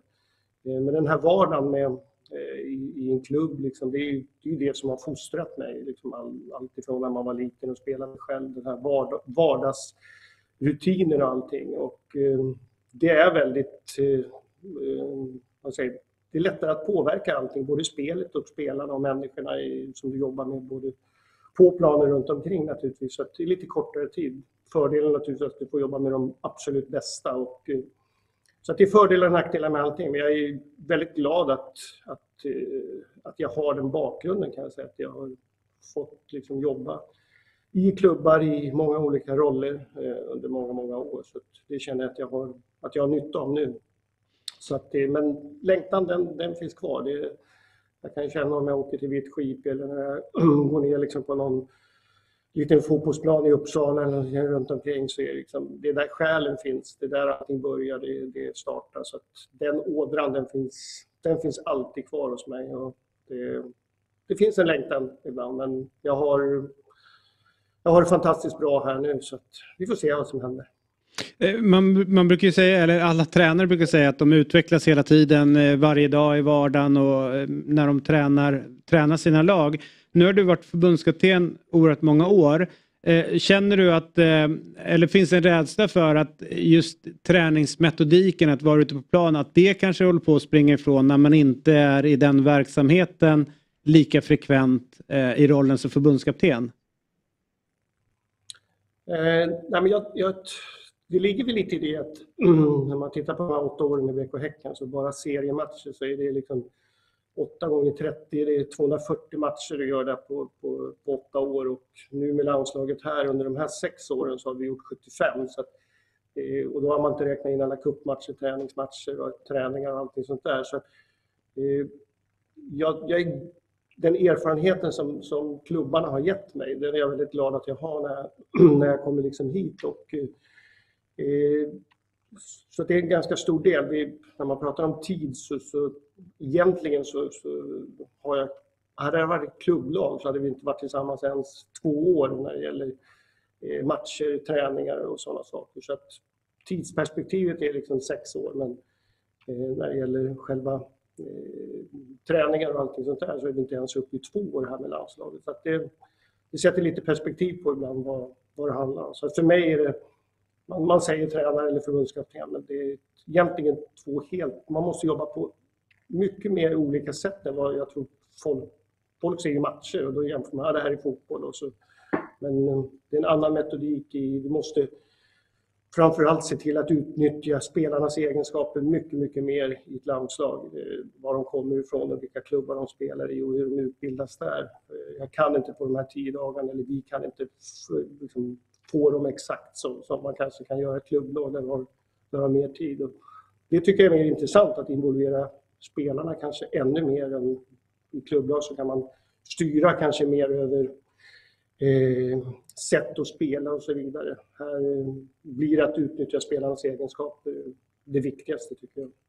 Borde fler klubblag kanske ha lite mer utav den eh, alltså det anslaget att kanske jobba lite grann med spelares kvaliteter än att en enskild tränare försöker sätta sin prägel mer på det? Eh, jag, jag tror att jag tycker just mig jag tycker man kan se det faktiskt i, i klubblag. Jag följer Premier League väldigt mycket och kollar väldigt mycket på det och du kan ju se att när Chelsea gör stora värvningar så, så, slänger man in, även om det inte var så lyckat, och slänger in Joa Felix i första matchen när han knappt hade landat. Så, så är ju det naturligtvis ett, att man litar på spelarnas egenskaper mer än att man behöver träna ihop i två månader och så vidare. Ehm, även en sån där detalj som jag tycker är intressant är Manchester Uniteds sätt att hantera sin backlinje där man, där man ibland byter position med Shaw som spelar ibland inneback, ibland ytterback och eh, man ändrar och, och, och, det är ju någonstans ett tecken tycker jag på att man litar på spelarnas egenskaper mer än kanske att, att tränarens liksom sätt att träna, ja, att jag ska styra över allting utan eh, jag tycker det finns de tendenserna. I landslaget så har det för mig varit den erfarenheten jag fick från pojklandslaget när jag hade Sebastian Larsson och Martin Mutumba, de här var liksom att ja, men, de måste liksom få ut de egenskaperna de hade. Den erfarenheten var väldigt viktig när jag tog över damlandslaget. Eh, det är väldigt sällan man ser en förbundskapten eh, som man ändå... alltså, alla ni som blir förbundskapten för liksom, ja, eh, du och Janne i det här fallet. Ni har gjort så pass mycket innan så att folk känner att ni är bäst bäst lämpade. Alltså ni är ju på en väldigt, väldigt hög hylla bland tränare i Sverige. Men ganska ofta när, när förbundskaptener är klara så, så känns det som att man checkar ut. Man går inte tillbaka till klubblagsfotbollen. Borde det inte vara så att med tanke på att ni anses vara de bästa att gå tillbaka till klubblagsfotbollen borde vara ett naturligt steg på ett sätt för att som, ja, ge, inte ge tillbaka men eh, de kvaliteterna som ni har känns som att det bara försvinner bort sen. Eh, hur ser du på att inga förbundskaptener liksom går tillbaka och blir klubblagstränare sen? Mm, jag vet inte, jag har inte, jag har inte statistik på hur det ser ut sådär men eh, det, kan ju, det kan ju naturligtvis bero på, på, på eh, man säger, olika saker men eh, själv liksom, jag har ju valt man säger, eller valt, ibland väljer man inte allting heller, men eh, när man är liksom i klubblagsmiljö och så vidare så, så är den fantastisk att jobba med så att det är lätt att man blir kvar där. Det är, det, det är inte säkert att man får erbjudande att bli förbundskapten så det ska ju stämma kanske rätt. Jag, jag sa ju under åren i BK Häcken så kommer jag ihåg liksom att jag sa att jag kommer aldrig bli förbundskapten. Det, det, det kommer aldrig... Så att, och det lärde man sig väl att man aldrig ska säga eh, statement liksom vad, vad som händer och så vidare. Men jag trodde faktiskt inte på det för att jag tyckte liksom att det är så lite tid och jag älskade för mycket den vardagen. Men sen på något sätt när jag fick det här erbjudandet så var det intressant. Jag ser liksom fotboll som nästan som ett projekt. Liksom, vad är det man kan göra? Hur kan man påverka? Det ska vara, det ska vara en utmaning och det blev en utmaning då. Ehm, tyckte jag, liksom, vad kan jag göra med de här bästa spelarna i Sverige och hur kan vi utveckla spelet? Och jag tog ju väldigt mycket naturligtvis från, från BK Häcken och sen gällde liksom att allting det kan jag inte göra, men spelsätt och, och utnyttja individerna som jag hade börjat med BK Häcken, det var bara att fullfölja där. Så att, eh, jag vet inte om eh, varför det är så egentligen. Fråga, fråga klubblagstränare eller fråga mig. Jag kan bara svara för mig. Och, eh, jag har varit, eh, under den här perioden så har jag eh, varit lite kittlad att gå tillbaka till, till klubblagsfotboll men det är eh, fortfarande, tycker jag, väldigt intressant med, med damlandslaget och med, med de här spelarna som vi jobbar med och de ledarna vi jobbar med. Så jag känner inte att jag känner mig inte färdig, jag känner mig inte klar. Och när man gör det så tror jag att då öppnar man upp annat. Och jag, jag skulle nog ha väldigt svårt, helt ärligt, att stå som förbundskapten för ett annat land. Att, eh, jag, är, jag är liksom svensk, att jag, då skulle jag nog välja liksom ett klubblag i så fall att komma, eh, göra det. det. det. skulle kännas konstigt, det kan jag helt ärligt säga i mitt, mitt hjärta. Eh, det, eh, så fort ni torskar en match i ett mästerskap så uh, går folk ut och skriker att svensk fotboll är för dålig, vi saknar fart, vi saknar teknik och uh, du har säkert läst det. Men sen så när, när det går bra så är det ju, hörs det ingenting utav det här. Var står svensk fotboll någonstans? Nej, men det är svårt, det är svårt att säga men jag tycker att eh, ett landslag är, bygger naturligtvis på, på tas ju ut av de bästa spelarna i, i som representerar, som är svenska spelare. Och, och måttstocken tycker jag ibland det är Eh, på här sidan har det varit under många år liksom Champions League och man tittar på de i Europa, de bästa, bästa spelarna spelar i de bästa lagen och, och så vidare. Och, och, samma sak har ju hänt väldigt mycket på damsidan när man har ökat, utökat Champions League och så vidare. Och det är klart att eh, eh när man tittar på, på de Champions League-lag som, som eh, har nu har gått vidare på damsidan så, så har ju vi i Sverige kanske tre, fyra som som är man säger, ordinarie i de lagen. Eh, Medan ett lag som Wolfsburg, vi möter i Tyskland här nästa tisdag, har, kan ha så mycket som, som 7-8 startspelare i Wolfsburg som, som kommer att vara startspelare i det här tyska landslaget som vi möter.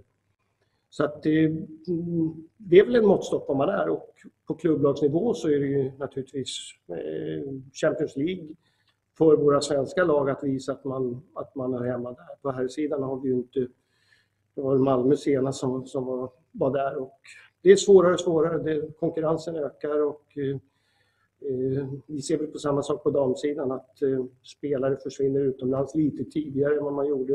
Följer lite som herrarna gjorde förut. Och vi får se var det landar någonstans när det gäller både klubblagsfotbollen i Sverige men också naturligtvis när det gäller landslaget. Så att, eh, eh, för landslaget så är det ju så att man skulle vilja ha, eh, om man tar Barcelona liksom som ett av världens bästa lag så skulle man vilja ha 11 spelare som, svenska spelare som är startspelare i Barcelona men det, så ser det inte riktigt ut nu. Nej. Jag vet inte riktigt var det står men jag tycker fortfarande vi har en väldigt bra, liksom, när man åker runt och besöker klubbar. Vi har bra tränare i Sverige, vi har bra talangfabrik på så sätt. Sen är det alltid frågan vad de här ska ta vägen för att eh, utvecklas vidare. Och, eh, det, det är liksom den heliga graalen här. Liksom, hur, hur, hur gör man? Hittar man? Och alla tror jag letar, både spelare, agenter och klubbar, hur man ska göra för att eh, man säger, utveckla de här på absolut bästa sätt. Så det, är, det är svårt. Så att, eh, vi, vi får kämpa på, men eh, det är, jag tror att svensk fotboll eh, mår bra mycket tack vare att vi har en bra utveckling i de svenska klubbarna både på herr och damsidan. Men jag tror alla vill nå eh, långt i Champions League om man tittar på herr och damklubbar. Det, det blir nog svårare och svårare. Eh, två matcher väntar nu, träningsmatcher mot Kina och Tyskland. Vad, eh, vad har du för förhoppningar på, på det här lägret och de här två matcherna? Ja, vi, vi går ju alltid in i det här med en eh, belastningstänk som vi måste göra. Alltså man får vara man, en del pratar liksom om att ja, nu måste vi se, spela in en startelva till, till matchen mot Sydafrika. För mig eh, fortfarande så, så det är aldrig de sakerna vi diskuterar. Vi har aldrig pratat med jag och Magnus att vi måste spela in en startelva nu till, till Sydafrika. Utan vi måste se spelare, vi måste se till att belastningen ligger rätt. Det vill säga att eh, de här spelarna, deras form och utveckling sker mycket i klubbarna. Så det kommer vara väldigt viktigt att de spelar i sina klubblag här efter den här samlingen. Och efter aprilsamlingen så är det viktigt att de spelar där. Och för oss gäller det att hantera det. Hur, hur mycket ska vi spela spelarna? Eh, så det är liksom en första del i det hela.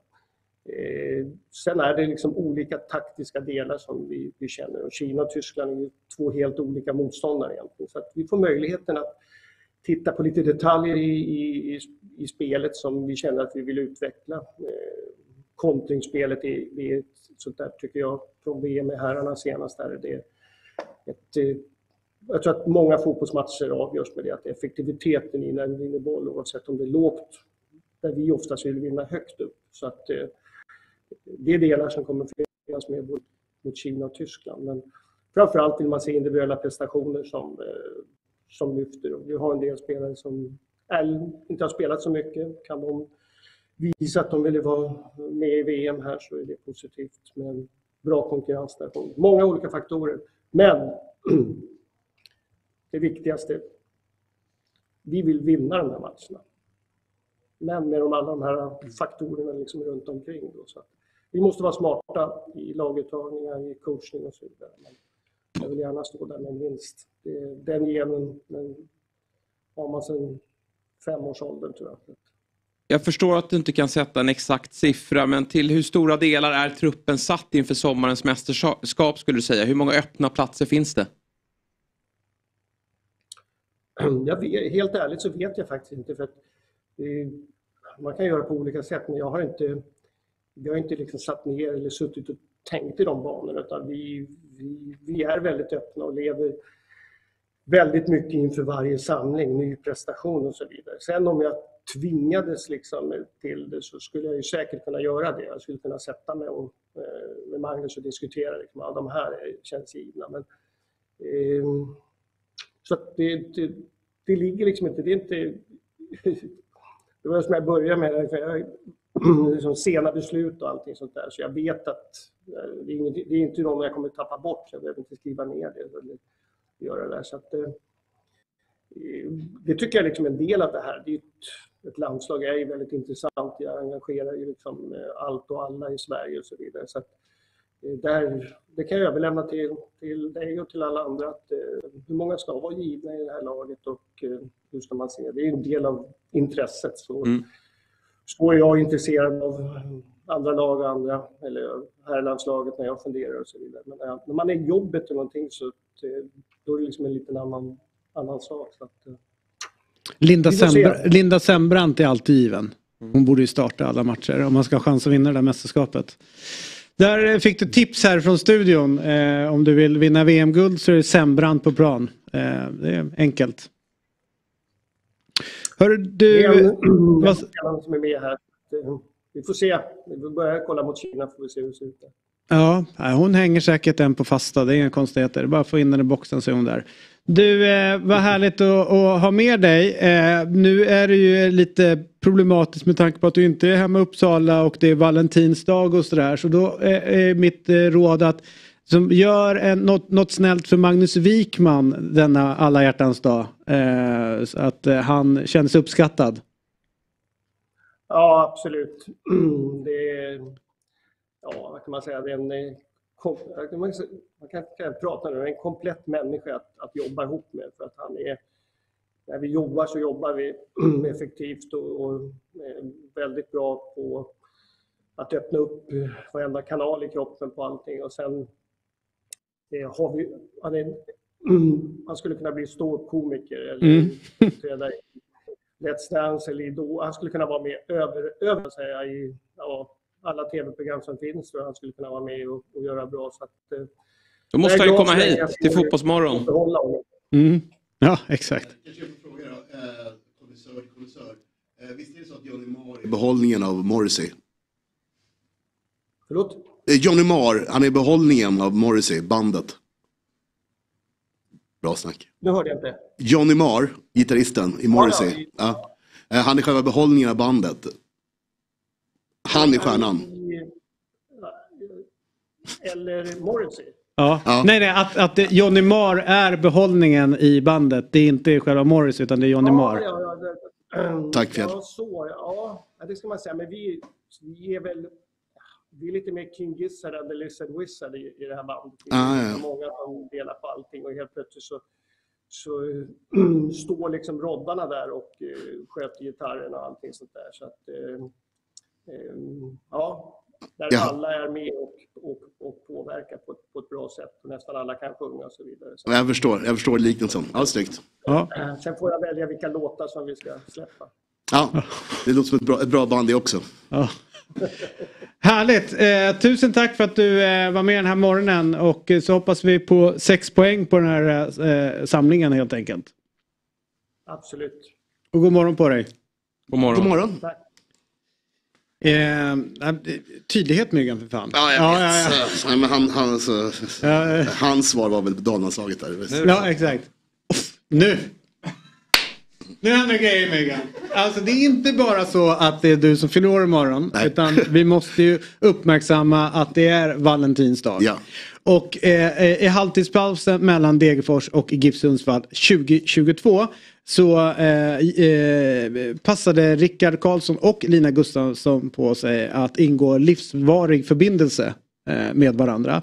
Eh, dagen efter matchen eh, och giftermålet hade vi med en överlycklig Rickard i Fotbollsmorgon. Eh, och nu ett halvår senare har vi med oss både Lina och Rickard direkt från Linas jobb. Eh, och eh, det är ju eh, liksom så här, med tanke på att det är den dagen idag. Så vill man ju ändå bara stämma av. Liksom så här, gjorde de rätt där inne på eh, mittcirkeln på Stora Valla när de gängade sig? Och det gläder mig att ni sitter där båda två. Det innebär ju antingen att ni har en jävligt bra relation efter eh, skilsmässan. eller så eh, är det så att ni fortsatt är gifta. Eh, hur är det? Hänger ni ihop? Ja, det gör vi. Ja, det, stämmer. Ja, vad härligt. Vad härligt. Och eh, ni, eh, ni är ju... Eh, ta oss tillbaka till den här dagen när ni eh, ingick den här livslånga förbindelsen med varandra på Stora Valla. Ja, ja, det var ju en fantastisk dag. Det var ju väldigt gråtrist väder men det var ju ingenting som vi fäste oss vid att det regnade och höll på att... eh, Det ska nej, det helt göra. Det ska ju regna när man ja. gifter sig. Det betyder lycka. Ja, det ska väl det. Eh, vad, eh, vad- det- det är ju eh, alla hjärtans dag idag eh, och jag börjar med Lina. Vad, eh, kan du outa några av dina planer som du har för Rickard? Alltså, det är ju så här, precis som jag hörde en av er här, vi har ju inte jättemycket planer på alla hjärtans dag för vi har ju också så att vi har en födelsedag imorgon. Oj! Så vi brukar tycka att det är det viktiga alla hjärtans dag. Ja, vem, vem utav er som fyller år imorgon? Eh, nej, det är våran mellangrabb som fyller, fyller år och han fyller 15 år imorgon. All right. favoriten. Ja, ja. ja precis. All right, så det blir det. Och Rickard, eh, eh, vad har du, eh, eh, jobbar du samma sak? Att du duckar alla hjärtans dag eh, och säger att eh, det är ingen idé att hålla på och fira det här för att mellangrabben fyller år imorgon? Eller är det så att du känner pressen att leverera även idag? Nej, det är nog det första alternativet faktiskt. Det är skönt att slippa den 14. Ja, ja, ja, precis. Jag fattar. Jag försöker ju ducka den 14 med att säga att myggan fyller år den 15 men det går inte lika bra. Eh, men du, eh, innan vi släpper er eh, in i er här kärleksdimman som ni verkar befinna er i så är det ju snart det tävling. Ja visst, och det brukar väl vara det i Värmland här på att säga. Hur, vad tror ni om Degerfors säsong? Blir det, blir det en stressfylld säsong för er? Just nu verkar det ju så. Men eh, nu ska man ju inte ta allt för allvarligt på försäsongsmatcherna. Så att eh, vi hoppas verkligen på att det kommer gå lite bättre än förra året. Ja, i Patrik Werner You Trust som man brukar, eh, Ja, som ja, vi brukar säga. ja. En fantastisk människa.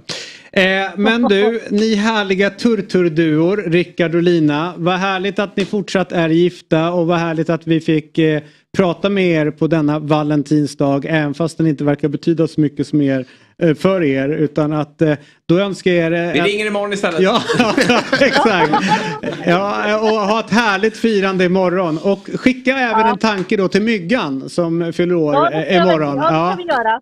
En fin dag. förskott Myggan. Stort Då vill tack. jag passa på att säga grattis i förskott också. Ja, vi skick, skickar den tillbaka till, till mellangrabben, min favorit. Ja, exakt. Ja. Här, härligt. Och, och heja Degerfors. Ja. Ja, heja. Tack så mycket. Hej då. Hej. Hej. Fantastiska. Ja, Eller trevliga, hur? trevliga människor. Ja, alltså.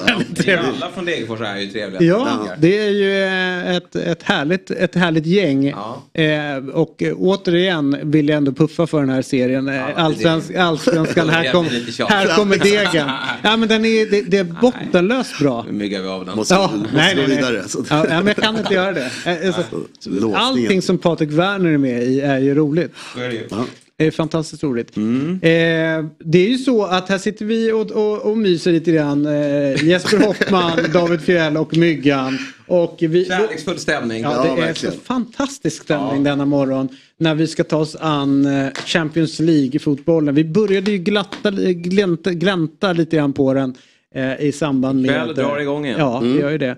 Och vi har ju kollat närmare på, på olika lag eh, och idag ska vi kolla närmare på ett lag som heter Dortmund. Mm. Som i sin grupp G piskade dit FCK med 3-0. Som jag älskade det. Ja. eh, dansken eh, känns ju bra att de åkte på det. Sen var ju Manchester City lite för svårt för dem, 2-1. Eh, och sen vanns vinst mot Sevilla. Då, in, ja, men innan tänkte man så här, shit det här är starkt. Men Sevilla sen har ju visat sig ha en ganska jobbig säsong. Så man vet, det är svårt att värdera. Sen kryss mot Sevilla, kryss mot City bra och sen så kryss. Eh, så att de Nej, liksom klart. tog sig vidare. Absolut. Det var ju lite Jude Bellinghams eh, show det här. Han var ju riktigt jäkla Mm. bra i det här gruppspelet och han är ju fortsatt bra. Dortmund har ju vrålstark form. Alltså jag tror det är sju raka va, sen uppehållet. Eller Ja. sånt. Sex eller sju raka. Och eh, går som tåget där. Och eh, Chelsea kommer få jobbet här. Eh, det är jag helt övertygad om. Så att det här är ett dubbelmöte jag verkligen ser fram emot. För det kan ju vara lite så fortfarande i åttondelen. Vi klagar på det i gruppspelet. Men det kan även vara så i åttondelen att det är lite ojämna möten. Även om kvällens möten har, har, ehm, är spännande. Men det här är kanske det mest ovissa mötet på förhand. Ja, för de, ja exakt. Ja, men det blev ju Dortmund blev då lottade mot Chelsea i, och det, det känns ju som att samtidigt som Dortmund kommer in i, eh, med jätteform som ni pratar om så kommer Chelsea in med en, en stökig form får man ändå säga. Även fast de inte förlorar så många matcher nu. De ser bättre ut men det blir... Men de vinner Nej. inte. De vinner inga matcher. Eh, och den här mötet börjar då på bortaplan. Det är imorgon klockan 21.00 som, eh, ja, där, vet ju folk var de kommer hitta mig någonstans. Det är Mm. ju inte fokus på någonting annat än, än just den här matchen. Men eh, de som, det, det, det verkar ju vara som att Dortmund är favoriter att gå vidare. De kommer ju tvåa i sin grupp eh, och sen så då lottade mot eh, Chelsea. Vann Chelsea sin grupp? Det gjorde vi kanske till slut eh, efter en väldigt knackig start. Ja, men sen var det ju Eriksgata. Ja, åh fan. Det är ganska vanligt för oss i Champions League. Eh, men, eh, men nu i alla fall så är de ju favoriter att eh, piska ut eh, eh, Chelsea. Nej det är de inte. Är de inte? Är Chelsea nej, favoriter? Chelsea är favoriter. Är de det fortfarande? Jajamän, så därför finns det spelvärde på Dortmund vidare här tycker jag. 2,43 gånger pengarna Ah, det är klart de. Den gillar jag. Mm. Jag tror Nej, att. Dortmund med den här formen Nej, de, de Jag tror blir kan- livsfarliga. Och Bellingham, åh, läckert med honom i, på Stamford Bridge. Det, det, det kommer bli åka för Enzo Fernandes. Ja, jo det kommer bli. Sen vet inte jag liksom med eh, vad... Eh, ah, fan, det är ju så jävla... Sen heter eh, vet han, Berglund är här. Ja. För han är ju Dortmund eh, Ja. Så att, Det, är, det är som alltid spännande. Alltså, man är ju även sugen på Mokoto, heter han va? ja, men han är Eh, skadad tror jag. Nej, Eller är han inte... spelade i helgen. Gjorde han det? Ja.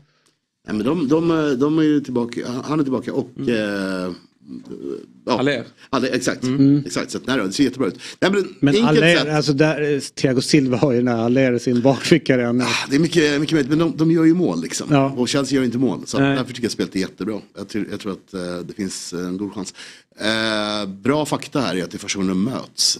eh, Ever, eller? Ja. det är väldigt- Jättekonstigt ja, med tanke på att det är två lag som har varit ute och snurrat ganska Ja, ja, mycket. Atletico borde springa på varandra någon gång. Nej men det här är ju eh, så här, utav roliga matcher som man ska, Mm. eller potential att bli en rolig match. Så tror jag att det här dubbelmötet är bland det roligaste man kan titta in på. Och det säger jag inte bara för att jag håller på Chelsea utan det är ju ändå eh, en Potter-tränat lag som vill framåt. Och, eh, och även liksom ett Mm, just Dortmund just som är- eh, hacket i Chelseas målskyttar, det kan ju också släppa, släppa Ja. imorgon. I och med att Dortmund släpper in en hel del mål, Mm. så de vinner hela tiden. Ja, Så det finns ju en, en, öppning för. Och sen så är det där lite man-man, eh, Jannen som de kör. Sist Chelsea gjorde två mål var Bournemouth va? Ja. Början av december. Yes. Det är Länge sedan. Det är länge sedan. Jag försöker hitta status på Royce. Han är alltid skadad på något sätt. Ja. Men han ska vara med. Ja, han gjorde mål för några veckor sedan, precis, att, eh, Också viktig för eh, detta Dortmund. Mm. Så den här matchen eh, kommer man ju då att se på Telia. Eh, eller ja, hela Champions League kan man se på, på Telia. Eh, och där finns även Premier League. Eh, och eh, de har samlat allt innehåll från eh, Viaplay, Simor och eh, då till Telia då på ett ställe. Samt ingår alla matcher från Allsvenskan från Discovery Plus senare i vår. Och eh, vad jag inte, om inte jag är helt fel så är väl Svenska Cupen också eh, Discovery. Nej, Simor. Är det det Simor? du med Ja, det får du med där Nej, också. Simor. Allt får man med Hela där. paketet. Så det- Ruskigt bra pris. Ja, så det blir ju svin, svinbra eh, för att ratta in Telia och kolla Champions League där som drar igång ikväll. Ikväll. Ja. PSG Bayern. Tottenham Milan. Ja, den har ju blivit från 70-30 fördel Milan. Nej, P- eh, Tottenham. Jag sitter nog i Milan-båten nu. Ja, du sitter i Jag i Milan-båten. Även fast, de är, så, även nästa även fast de vecka- är så Nästa iskalla. vecka på tipset ska vi nog kolla på Leicester. Tottenham. Ja, ja. Jag tror att... Eh, Tottenham, eh, de sjunker nu. Nej, de har ju... vi kommer till Liverpool-segmentet sen, ska vi Ja. klara min tes här. Vad Ja. som kommer hända. Men jag har en eh, spåkula som jag håller på med. Därför att vi, vi måste ju- vi, vi apropå då att man kan se även då eh, allt innehåll från eh, via eh, Play eh, hos Telia så är det ju att Premier League snurrar på. Mm. Och igår så var det väl Ja, men, så här, en av de mest klassiska derbymatcherna eh, i, på, i England. Och det var ju eh, Liverpool mot Everton. Eh, och där först måste jag bara säga så här. Den här eh, målvakten, Jordan Pickford som står i Everton. Är väl den svåraste fotbollsspelaren eh, som är aktiv just nu att älska. Apropå valentinsdag. Inte ens denna alla hjärtans dag kan jag uppbåda några positiva känslor runt honom. Nej, han är otrolig alltså. Eller hur? Vad är hans fucking jävla problem? Han är arg på allt och alla. Så fort han måste göra något ingripande så står han och skäller på dem. Trots att han fan kastar in bollarna i mål så, så är han helt immun mot sin egen inkompetens. Det första målet som de släpper in igår, förvisso en magisk sekvens. Alltså man bara tar den minuten utav Att han- nick ribban, han nära och gör mål. där.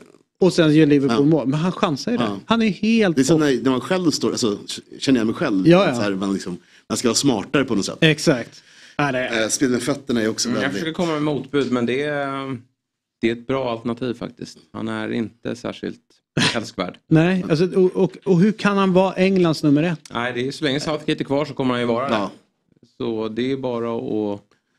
Southgate, ja herregud alltså. Och, och bara liksom utav den anledningen att Southgate håller fast vid honom så måste Southgate lämna. Alltså det, det, det, jag har landat i det. Men det gäller ju många spelare i laget. Han är så rädd för alla förändringar. Ja men just Pickford. Ja, men allting, Alltså- allting. Det finns ju ingen, alltså, han är så himla sådär besatt av någon form av liksom, Ja. eh, metod att komma typ två liksom. Alltså, det är någon loser-mentalitet där kan jag tycka. Men var det inte en härlig, eh, alltså jag gillade ju kampen som ändå var fram en till... dålig match. Ja, fast jag gillade ju ändå att eh, Everton försökte köra liksom lite bully på, på Liverpool. Alltså du vet Mm. Onana på Jordan Henderson. Och, alltså de verkligen gick in Nej, men de, har, de har gjort den tekniken nu i 20 år ju liksom. Och det, det, den kan ju funka ibland. Men det ska ju vara på Goodison i så fall tror jag. Till börja med. Sen är det fascinerande att spela utan, de spelar helt utan press. Mm. Det är konstigt att möta ett lag som inte, inte ens vill spela. sätt. Och han Sims som startade istället för Cabot Lewin. Nej det var ju hemskt alltså. ingenting att- Nej men det var ju, jag sa ju det, jag var, jag var tyst hela veckan men folk var ju väldigt på den här Sean Dice-båten och Everton Ja, skulle vinna. jag det var... finade den. Det- Ja, jag var där. Det var ju, Ja, ja, det var ju ett krig. Det var, inte bara, det var inte bara du. det, var, Nej, nej. det var inte var det många som... Ja men alltså för att... För att Jo, det- du var ju med. Ja, ja, jag, Ja, säger, nej, men jag säger det. Ja, ja, jag, jag var kapten på Ja, båten. ja. Det är konstigheter. Nej, nej men det var, det var väl, jag kan förstå också varför. Det att efter 3-0 mot Wolves att vi, vi inte ska vara... Liksom, men men det, var, det var kul att höra snacket. Man glömmer bort hur dåliga Everton är just nu. Ja. De är extremt dåliga. Så det, Ja, det är riktigt så det, det, Vad säger det om Arsenal då? Ja, Som förlorar mot, säger. Jag eh, vet inte vad Nej, men det, säger, var, ju- men- det var en konstig fotbollsmatch. Ja, och de alltså, visst, Arsenal en liten dipp kanske, men framförallt så var det ett krig där ute. Mm. Och du orkar bara kriga sådär en gång. Alltså, kliva ut med den lojaliteten gentemot sin tränare, det gör du i första match. Sen krävs det lite kvalitet. Och de tycker det var ganska jämn tillställning i- i början av den här matchen. Men sen visade Mm. ju Liverpool att de är ett skickligare fotbollslag. Och monterade ner Mm. eh, Men man ska-. Och sen var det skönt för Liverpool att de inte släppte in mål då Inga också. mål släpptes in, nej, visst. Och de dåliga spelarna tidigare var liksom Ja. okej. Men, men med det sagt ska vi nog inte som Liverpool-fan slå på stora trumman. Utan Nej. eh, Everton var ju riktigt, riktigt dåligt Ja, fotboll. Vi det- måste börja där och så får Ja. vi liksom ta resten sen. Men jag har- att eh, Gakpo fick göra mål och- Exakt, och Salah exakt, också. exakt. Så att det var ju rätt mål. Och Joe Gomez hade en jättebra match, Fabinho tillbaka igen. Så Ja. Det var jätteskönt Men jag, jag har en liten, eh, en liten kanske helt jävla värdelös analys på det hela. Som jag satt med hemma. Men låt mig lansera Ja, den ändå. Det är så här, jag tycker inte att Liverpool är så dåliga som alla sagt under det här året. Mm. året. Utan det som har saknats är ju X-faktor utan någon spelare.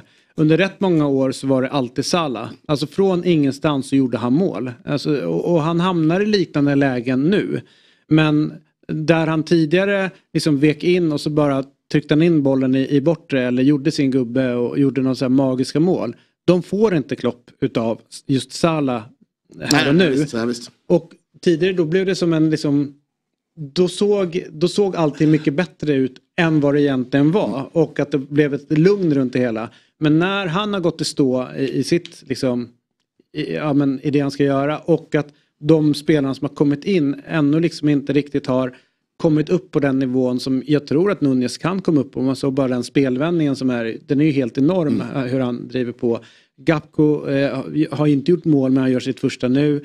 Och sen alla jävla skador som de har haft.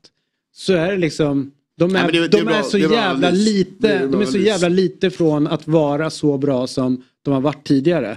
Men just nu... Offensivt ja, men jag tycker de har varit ihåliga bakåt. Mm. Men det har de alltid varit riktning. liksom så här att de, de, Nej, det, hade kunnat sminka över lite ju mycket med om med gjort, målen. gjort mål, helt Ja. klart. Men jag tror att är- alltså, Firmino, Diaz och eh, liksom Jota borta är mycket värre än vad folk eh, förstår och tror. Att liksom, Mm. Den pressen de lägger, särskilt Firmino när han jobbar Mm. som hårdast.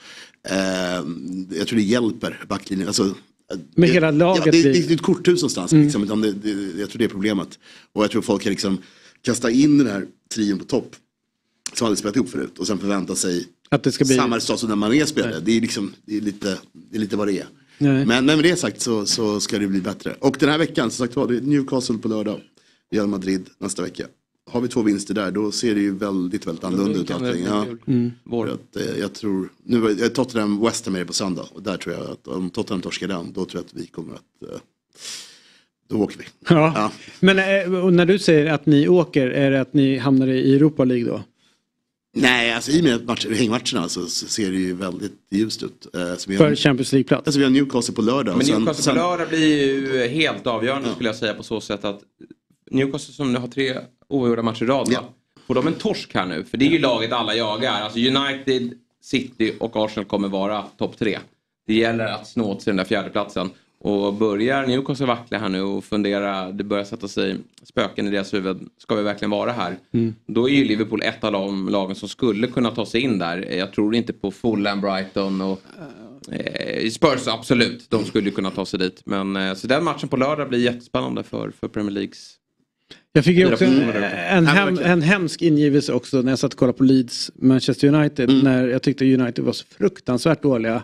Eh, och eh, jag menar så här, okej, ert uppspel funkar inte givet med de spelarna som var borta.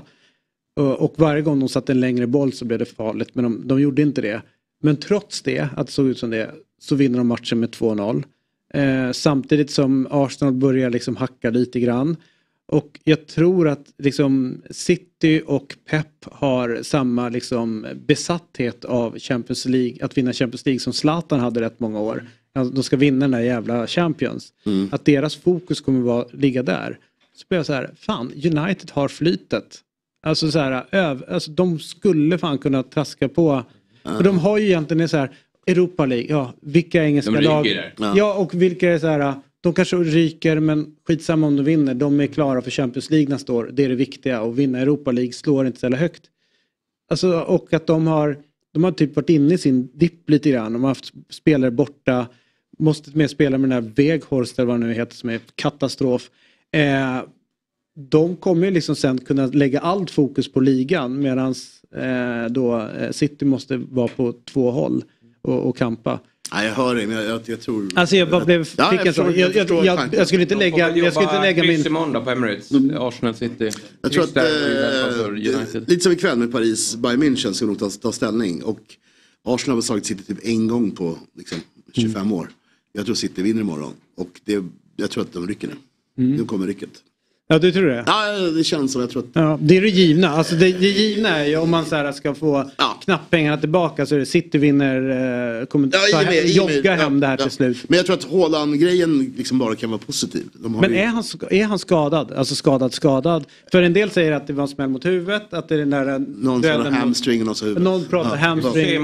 Vi får se imorgon. Eller idag på presskonferensen. Exakt. Jag ska inte så mycket men... Han pratar om Steven tiden. Klev av i paus och slog inte straffen. Alltså jag reagerar mest på att han inte slog straffen. Alltså, eh, Fantasy-gänget. Nej, ja, det är klart, ja.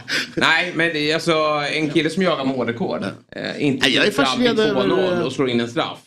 Det är ju eh, någonting som är Det, det galet. folk, folk hyllar Pep i all rätt och säkert och sådär. Men det är kul med, med Marit att han står och straffar fortfarande. Mm. Att, liksom, det finns ju ingen liksom, logik i att en person som är så dålig på straffar ska fortsätta fortsätta. Men också År är det roligt att det alltid, eller inte alltid, men ofta uppstår diskussioner just i City om vem som ska ta straffen. Att det inte är så givet. På, alltså nästan alla andra lag det så här, ja, men när Jorginho spelade i Chelsea, det var ingen snack liksom så här. Då kunde någon så här Nej, det- fejka att, Nej, man, att man ska ta straff, men alla visste ju det är Jorginho som kommer göra det. Men i City, där står de liksom och liksom tar någon polsk riksdag om det hela. De kommer ju torska finalen på straffar i Champions League. Men jag tänkte på det i söndags att de, de, de räknar liksom varenda decimal vid kalorierna de äter. Men straffskytt, det, det skiter vi det, Ja. det tar vi lite som det kommer. Det, det är rimligt liksom. Märkligt. Eh, jättekonstigt. Mm. Så här är det. Under en mellanakt i den första deltävlingen av Melodifestivalen 2023 så läste komikern Ann Westin upp Karin Boyes dikt Ja visst gör det ont. På bred göteborgska och en mängd svordomar. Detta landade inte väl hos göteborgarna. Min svärmor upprörd så inåt helvete by the way. och den som brann av mest var författaren, journalisten, po- poeten, poddaren Marcus Birro. Vi ska ta och lyssna på hur det lät när P4 Göteborg pratade med eh, Marcus Birro om just detta läste delar av Karin Boyes dikter i lördagens deltävling av Melodifestivalen på grov göteborgska. Jävla knoppjävlar. Fan. Göteborgaren och sportprofilen Marcus Birro är inte glad över Melodifestivalens mellanakt. Det här var väl för fan inte roligt. Jag, jag förstår att de gör det med glimten i ögat, men jag tycker bara, ja men gör det på ett anständigt sätt. Lyft Göteborg, lyft poesin. Den, gör något annorlunda i Mello. Det hade ju varit att verkligen utmana och verkligen göra något kaxigt. Att göra ett seriöst inslag om Göteborg med kärlek och Karin Boye i 45 sekunder i Melodifestivalen. Det hade väl varit att göra något coolt. Och Agneta i centrala Göteborg stämmer in i kritiken. Det tycker jag var respektlöst och jag tycker det var plumpt och jag hade inte förväntat mig det av en komiker. Marcus Birro igen. Och det, är också, det är också, handlar lite om Göteborg med. Det är liksom det är personkrets som det, det är min hemstad. Jag älskar den här jävla stan. Och så sitter man och ser det där och tänker, vad fan, det, gör någonting bättre av det liksom. Eh, men för att verkligen ta reda på hur landet, eh, det, det här har landat hos göteborgarna så har vi med oss den enda göteborgaren som vandrar här på jorden. Alltså den enda riktiga göteborgaren. Vi snackar alltså om Glenn Hussein. Och jag tror inte ens att det behövs en presentation för den här eh, jag skulle säga, ikoniska fotbollsspelaren och folkkära eh, mannen eh, då Glenn Hussein. Och först och främst, god morgon Glenn och välkommen till Fotbollsmorgon. Vad säger du om det här skämtet i Melodifestivalen? Alltså jag känner ju Marcus ganska väl så att jag vet han är ju en underbar gubbe men jag tycker han tar i lite grann här. Alltså vad fan, om hon skäm, de skämtar till det, det var ni. Folk skrattar ju ändå liksom. Jag fattar inte grejen alltså. Pojkar, det ska man respektera naturligtvis. Inte för att jag knappt vet vem det är. Men, men, men eh, ja, jag vet att det är en gammal poet eller något sånt där. Eller skriver dikter och sånt. Men men vad fan, man måste kunna skämta om allting. Men du, när du har varit ute och vandrat på Avenyn, eh, gata upp och gata ner där. Eh, du har inte märkt av ilskan på byn? Eller på stan? Nej, inte direkt. eller, också rör, eller- också så rör jag mig i rätt kretsar. Jag, Ja. jag känner inga sådana dårar. Nej, men- Bara gnälla på det där. Det, det, det är bara asgarv. Ja, jag fattar. Du, eh, låt oss släppa det där och, och, och låt oss vä- återvända lite grann till, eh, till det som jag då ändå håller dig eh, som eh, kvar vid. Det är ju fotbollsikonen och fotbollsspelaren. Liverpool 2, Everton 0. Hur heta är de här derbyna att spela eh, i Liverpool? Ja, alltså det är, ju, det, det är nog något av det största man kan göra tror jag. På, även om det finns stora derbyn i, i, i Spanien och Italien. Men, ja, även derbyn är stora. Men just det här Merseyside-derbyt är ju... Nu kan jag ju bara se, eller vet- jag kan bara prata av egen erfarenhet då. Och det är enormt alltså. Det snackas veckovis innan och efter och herregud, det är helt otroligt. Och sen såg man att eh, känslorna svällde över lite grann igår där. Det blir ju lite slagsmål i slutet på matchen där. Mm. Det var någon som gjorde, gjorde någonting. Var det Robinson som fortsatte eller vad fan var det? Det var någonting, han, domaren hade blåst. Sen var det ju världskrig i fem minuter. Men eh, hur är din relation till Liverpool idag? Alltså efter pandemin så har det inte varit speciellt mycket. Eh, Innan var jag över 8-9 gånger om året med olika grupper och sådär. Och gick på matcher och, gick runt i Liverpool. Och jag stod och snackade skit på någon scen där och ljög som fan. Mm. Så det, var, det, det var ju hur mycket som helst för liksom innan pandemin. Men det börjar rätta till sig. Jag är så inbokad här nu. Har folk fortfarande koll på dig i Liverpool när du går runt på gatorna? Nej, inte, inte, inte på stan. Så det är de mest inbitna bara som, som kan det. Ja. Inte om du går omkring på stan. Nej, nej, nej. Hur ställer du dig till Evertons, eh, ja, om de ska vara kvar i Premier League nästa säsong? Vill du att de ryker eller eh, ska de vara med? Nej, för fan. De ska vara kvar. Ja. Det är ju underbara derbyn varje gång. Och, så kan man inte... Jag älskar ditt eget lag. Skit i de andra. Ja. Herregud, de får göra vad de kan. Det är ju samma i Göteborg här. Det är ju Guys. Jag vill gärna att de spelar i Allsvenskan. Jag hatar inte dem, för att, eh, men sen om, om Blåvitt möter dem så är det klart man att det är Blåvitt som gäller. Men det är mycket roligare, det blir ju intresse när det är derbyn i, i, i serien. Så att det, nej, det har jag ingenting, ingenting emot. Du, eh, eh när, det laget du kom till där, eh, Liverpool, betraktas ju kanske som ett av de starkaste upplagorna. Och då eh, lanserade jag att du måste väl vara eh, den bästa eh, eh, svenska eh, försvararen vi har skickat ut i Europa. Alltså den formen du hade där slutet 80-talet. Eh, är det någon som har toppat dig ser du? Tänker du? Ja, det finns flera stycken. Patrik Andersson. Eh, eh, vilka finns det mer? Herregud, Du ser, där tog du stopp. Eh, Olof, Olof, Olof Mellberg, kanongebö. Alltså, grym mittback. Så att det, men jag hade ju turen att komma i ett läge där Liverpool var jävligt bra som lag. Och sen fanns det ju två eh, grejer som hade hänt året innan jag kom säsongen innan. Dels var det att de hade förlorat sista matchen mot Arsenal hemma, tror jag det var. Eh, med 2-0. Hade de förlorat med 1-0 så hade de vunnit ligan. Så de var ju revanschsugna. Och den hemska saken var ju den här Hillsbury-katastrofen var ju i maj när jag kom i augusti där sen. Så det första vi fick göra var ju att åka omkring till olika sjukhus och hälsa på halvdöda ungdomar som låg i respirator och grejer. Så bara det gjorde att man tände till lite extra. Mm. Du, eh, det, Blåvitt är ju en klubb som, som går i, i familjen och vi har nu fått tag på eh, årets tröja eh, för 2023, eller hemma och borta tröja som vi ska kolla till. Prasslar här. Eh, ser du den nu i... Ser du den? Ja, jag ser att det är Blåvitt men jag ser inte text och grejer men... Ja, det är ju reklam för Serneke helt enkelt. Eh, Ja, du... ja. Men visst bör de landa de tillbaka till mer de klassiska, eh, liksom med de vita ränderna och blåvita ränderna? Ah, alltså, jag tycker de är snygga de här tröjorna och man kan ju inte ha liksom eh, ICA på tröjorna som stod på 80-talet. Det hade varit något, eller hur? nej, nej, nej. De Men är du- fina som de är. Ja, men vad... För så här är det, jag har en grej att eh, jag hävdar att ni ska spela i röda bortatröjor. Vad tycker du om det gula? Det är väl sådär. Röda vet jag de har haft förr. Ja, Jag kommer inte ihåg vad vi hade, vad vi hade för bortaställ. Jag kommer fan inte ihåg det. hade inte ni rött? Det Eh, måste- Ah, ja, det är möjligt. Jag kan inte komma på det. Man, man är så inkörd med de här blåvita ränderna så jag kommer inte ihåg vad vi hade för borta, bortatröjor. nej. Du spelar inga bortamatcher helt enkelt? snyggare än gult i alla fall. Jag var inte med på bortamatchen.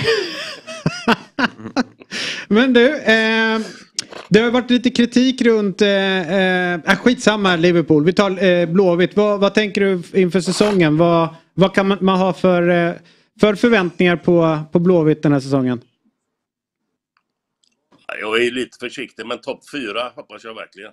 Så pass bra trupp har de. Sen att vinna, det vet jag inte. Det är, det är lite svårt.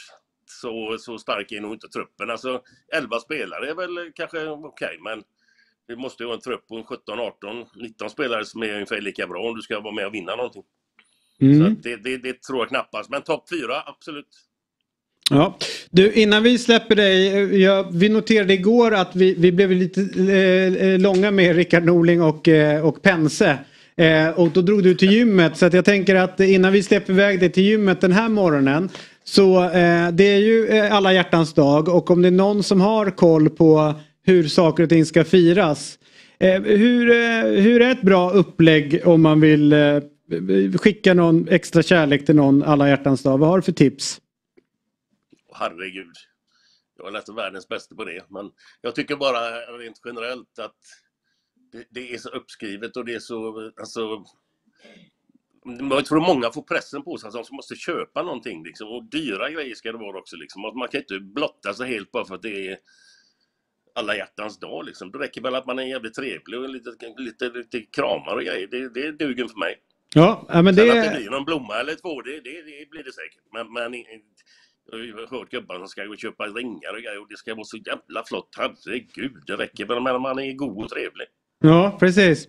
Äh, men det var eh, bra, bra tips. Ja, eh, och i dessa tider också med, med inflation och, och eh, höga räntor och sådär så, så räcker fan en, en fin kram som alla hjärtans Jajamän. dag-present. Vad härligt att ha dig med. Eh, och innan jag släpper det helt, vilket är, om du får välja ett minne från din karriär som fotbollsspelare som du liksom, det här var häftigt, vad blir det? Ja, det är ju, alltså det är väl egentligen... Nej, det är, det är ett par stycken. Men, men alltså, vinna Uefa-cupen 82 med IFK Göteborg borta mot Hamburg 3-0, det slår det mesta. Sen naturligtvis att åka omkring i en, en double-decker i England och vunnit ligan, det, det är rätt stort också. Då får man nypa sig i armen och tänka, vad fan är jag med här? Ja. Så det, det är två grejer som sticker ut tycker jag. Det är den eh, 82 och Liverpools ligaguldet. Torbjörn Nilsson var ganska bra där 82. Ja, jag kan väl säga så att han var nog en av världens bästa fotbollsspelare just så. Men det Ja. är väl inte att ta åt sig själv. Nej, nej, nej, säger han ingenting om. Härligt, och du var ganska duktig också får jag ändå säga som eh, fotboll. Vi har ju lirat ihop en gång eh, och höll nollan, det var ju stort. Eh, Det, det lever jag länge på, men det kommer inte du ihåg. Vad var det, för- vad var det för något? Nej, det var en tv-lagsmatch. Det var länge sedan. Ja, det var Eller du ju... jag mittbackare eller? Nej, jag var slips, du var mittback. Tur att det inte var tvärtom. Ja, så var det. Ja, härligt. Du, tack så fan för att du var med den här morgonen och eh, hoppas att det blir en, en bra dag och att ilskan lägger sig på stan i Göteborg efter skämtet runt Karin Boye. Det är lugnt. Ja, ja det är bra. Hej, hej. God morgon Hej. på dig. Ha det gött. Hej, hej, hej. En härlig profil får man ändå säga. Ja, verkligen. Vilken härlig avslutning på Ja. dagens program. va? Ja, det, det får det ändå bli. Eh, det är ju hårdkörning borta på dobb.tv. Ja, vi kör Eh, på där med fantasy och Eurotalk och 08 fotboll och allt vad det heter. Yes, det är ju eh, 11.45 idag är det fantasy. För, att, liksom, för er som vill veta lite grann mer. Eh, imorgon så är Per Frykebrant här. Ingen Myggan imorgon. Eh, han är borta den 15 varje år.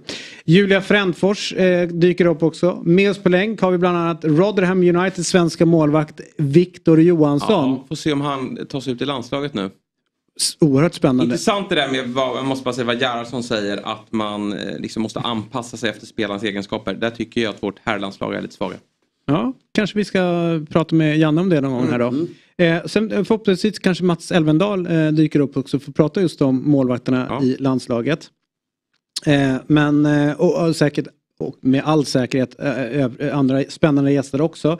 Eh, Den oklippta versionen av den här podcasten kommer ut innan ni ens hinner blinka och den klippta lovar vi innan 12.